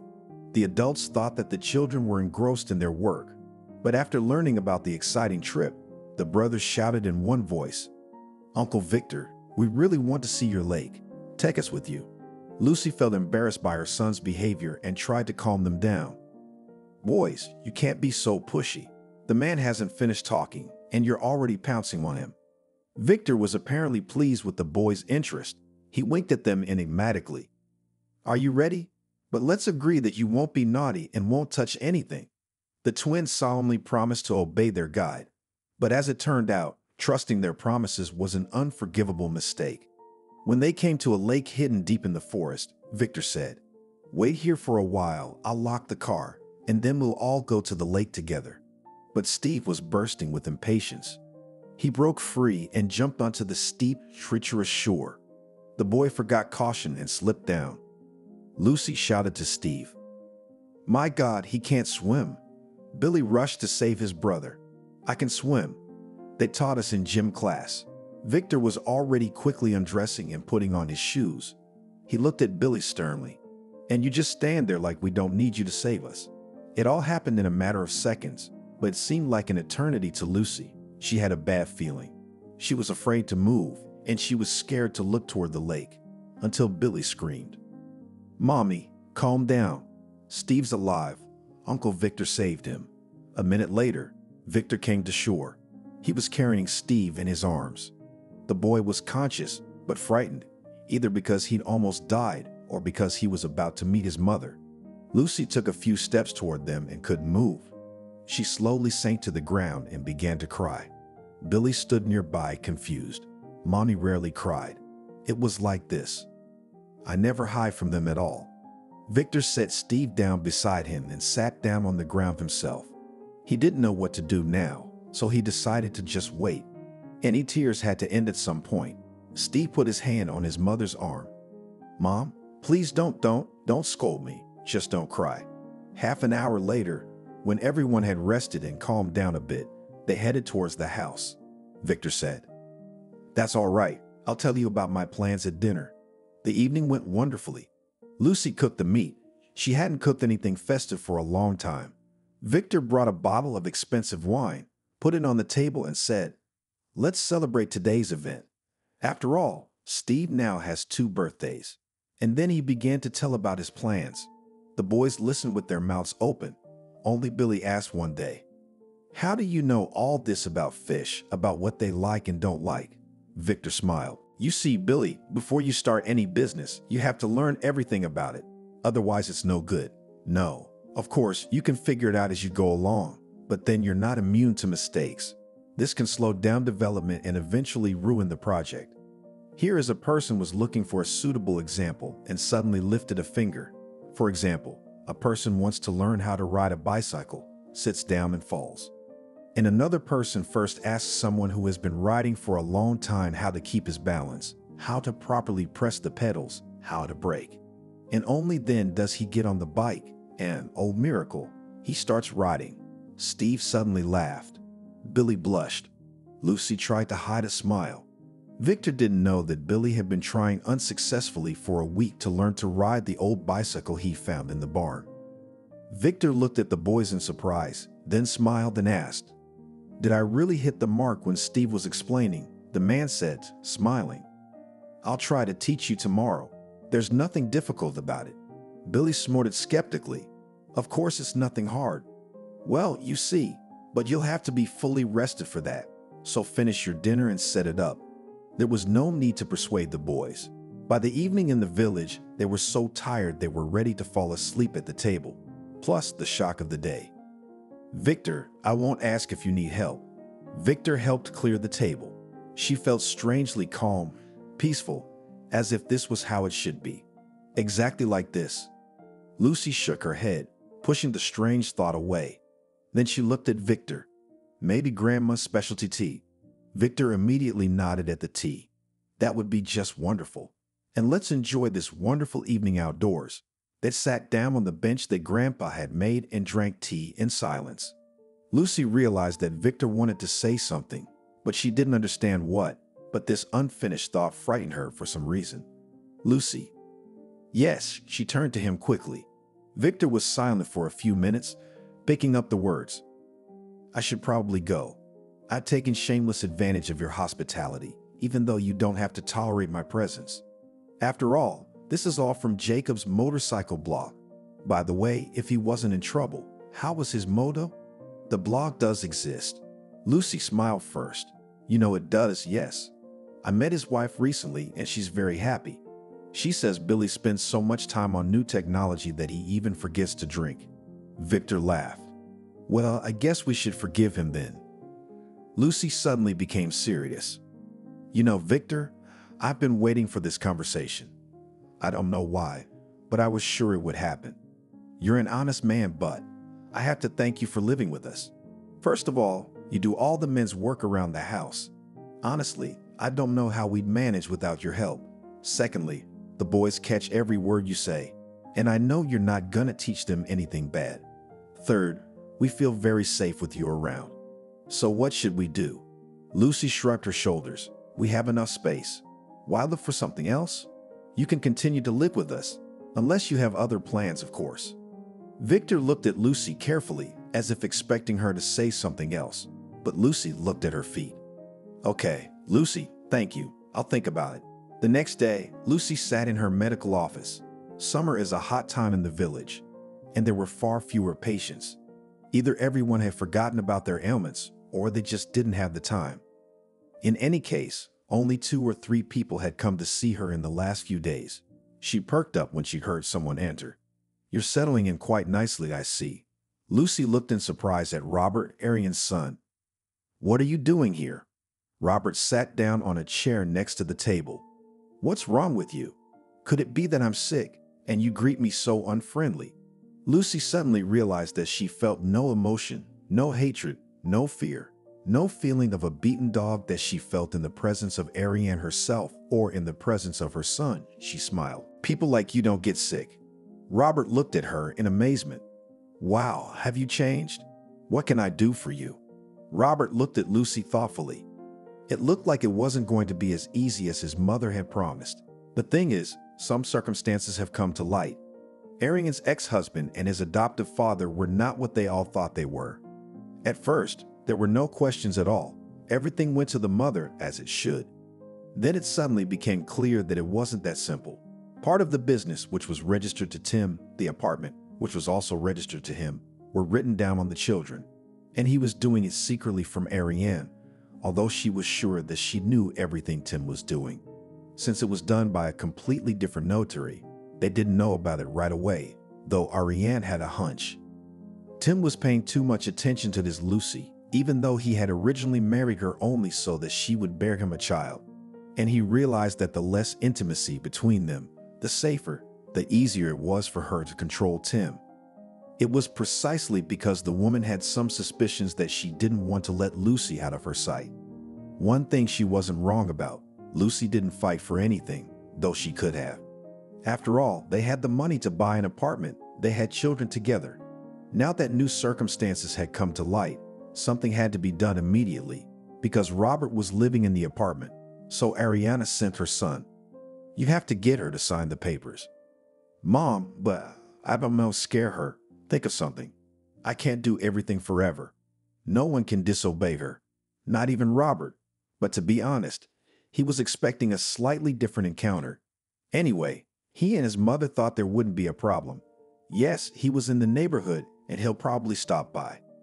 I came to rest at the cottage. Lucy stood up. If I'm not mistaken, I can't leave you. Robert was tired too. He walked over to Lucy and looked mockingly into her eyes. And Lucy suddenly realized that she was really scared. He had shown up here for a reason. Robert reached for her chin and Lucy flinched. He tried to catch her, but she grabbed the chair in her hand. Go away. Robert walked away satisfied. After all, she's afraid of him. And that's a good thing. In the evening, Victor does something with the boys in the yard. Lucy, having finished her chores, also went out and sat on a bench. And so she froze, staring at one point. She did not see that Victor was looking at her intently.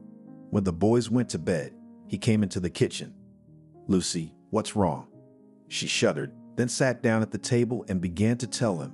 Victor listened attentively to the unhappy woman's confession. Sometimes he nodded his head and did not understand how she tolerated it all. Why do you think he came? Lucy shrugged her shoulders. I don't know. I can't even guess. Victor thought for a moment. From his experience, he realized that not much time had passed since her husband's death, so this visit could not be just a courtesy visit. Most likely some new circumstances had come to light. He was planning to go to town in a couple of days to finalize the deed to the reservoir and decided to drop in on his familiar notary for a cup of tea to see if he knew anything. A week went by. Victor had gone to town for a few days, and Lucy missed him terribly. She was afraid to admit it to herself. She realized that she had become too attached to her lodger. Lucy was approaching the house when she saw a strange car at the gate. Her heart jumped, and she quickened her step, for she thought it was Robert.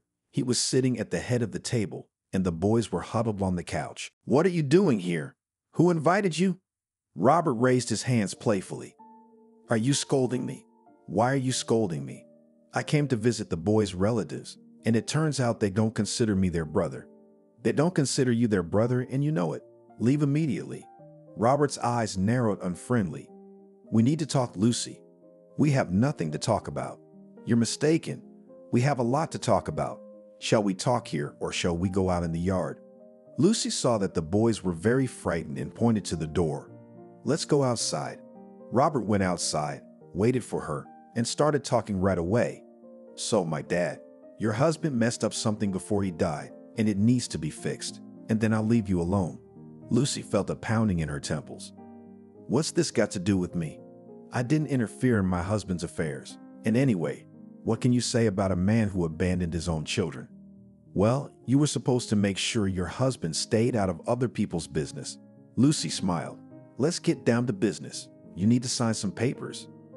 I'm not signing anything. I have nothing to do with my husband's business or yours. Oh, Mommy. Lucy turned to leave the house, but Robert grabbed her arm and squeezed it painfully. Will you sign this? Let go, it hurts. It'll hurt more, I promise you. He barely had time to speak before he was gone. Lucy only then heard him scream. Victor was standing next to her, rubbing her arm. If I see you here again, I'll break your arms and legs. He and his mother were good psychologists. They could crush anyone weaker than them. But against Robert's physical strength, they were always at a disadvantage. Lucy, we need to go to town right away, get all the papers, and let's go. There's no time to explain. I'll explain everything on the way. Lucy wanted to ask something, but then quickly went into the house. Twenty minutes later, they were on their way. Victor explained that by a happy coincidence, his friend was the very notary at whom Tam had secretly drawn up the documents with his first wife. And he'd agreed to stay late at work so that Victor could bring Lucy. She even cried a little, not such a bad man. Her husband was there for her. Apparently, somewhere in the depths of his soul, he still had something human. An hour later, they were in the city, and two hours later, they were there. Lucy was given the documents for her own apartment and some other papers, which she did not understand at all. It would all be sorted out later. Now let's go to the store, get some good wine, and go home. We'll celebrate two things at once. The boys jumped in the back seat. Yay, a party. What about the kebabs? Victor waved his hand, and the keep kebabs too. Lucy, still not fully recovered, looked at Victor carefully. He seemed too excited. It was unusual to see calm Victor in such a state. When the meat was already roasted, all the glasses were filled and the boys were playing on the grass outside the house waiting for dinner. Lucy asked quietly, Is something wrong? Victor smiled. You've studied me well. It's nothing special. It's just that I'm always uncomfortable. When a dream is shattered, I've been denied a lease, or rather, they set a price I have to pay up front, and it's too high. I have money, but not that much, so the idea of fish farming is out. But how come? They promised. Everything was almost ready, he shrugged. I gather someone else liked the idea, but I have to deny myself to make it look right. That's why this change, but it's not fair. Life isn't always fair. So shall we say goodbye? I'm going into town in the morning. Lucy looked at him and realized she felt like crying. She didn't want him to go. The boys were silent too. They sat across from each other and looked at their mother and Victor. Well, are you sad? Lucy did not sleep. She tossed and turned for a long time, then got up and went out on the porch. When she heard footsteps behind her, she was not frightened at all. A man's hands rested on her shoulders, and Lucy turned around to find herself in Victor's strong arms. She'd been waiting for this, and he'd been dreaming of it. He knew it would be even harder for him to leave. He knew he shouldn't do this, but there was nothing he could do. Ever since he closed his eyes, he couldn't sleep. So when he heard Lucy go outside, he immediately got out of bed. In the morning, the boys looked at a sad mom and an overly cheerful Victor. Did mom do anything to make him stay? Victor didn't understand what to do at all. Even yesterday, if something like this had happened, he would have stayed without hesitation. But now that Lucy was a wealthy woman, she had an apartment, she was doing fine on her own. Why would she want to lose her like him? He gathered up all his things and carried them to the car. Lucy sat silently in a chair. The boys settled down on the couch. They did not understand why things could not remain as before. The events of the last few days were completely incomprehensible to them. They realized that they could go home now, but they didn't want to. It was much better here. They really liked living together with Victor. He entered and stopped on the threshold. Well, let's say goodbye. Billy and Steve ran up to him and hugged him. Uncle Victor, can't you stay? Well, maybe we can work something out. If I could think of something, I would, because my savings are about to run out. And then what? I can't be your freeloader. Victor, you're a man. He smiled.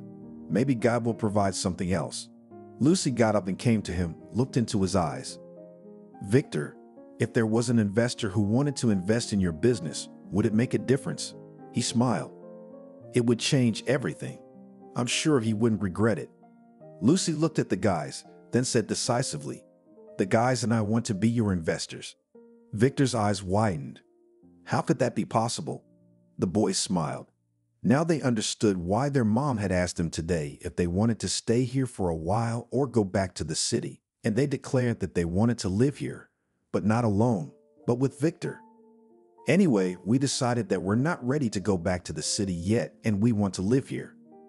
We could sell the apartment, invest the money in a business, and then, if the business is profitable, we will definitely buy something. Victor sat up in confusion, but Lucy smiled and for the first time in front of the children addressed him without her middle name. Victor, stay. We will miss you very much. He stood up, looked at Lucy for a long time, then said, Then I have a favor to ask. Lucy, marry me. I honestly don't know if I would have had the strength to leave today or not. I didn't have to sell the apartment. Ariana broke free and demanded that she get back the part of the business that Tim had fraudulently taken from her. Lucy didn't hesitate to name a price, and then she stopped talking half-heartedly. She looked at Lucy carefully and, realizing that she was wrong, agreed. A year later, a little princess appeared in the family, and her happy father and already a successful businessman bought all the balloons in the neighborhood. But that's another story.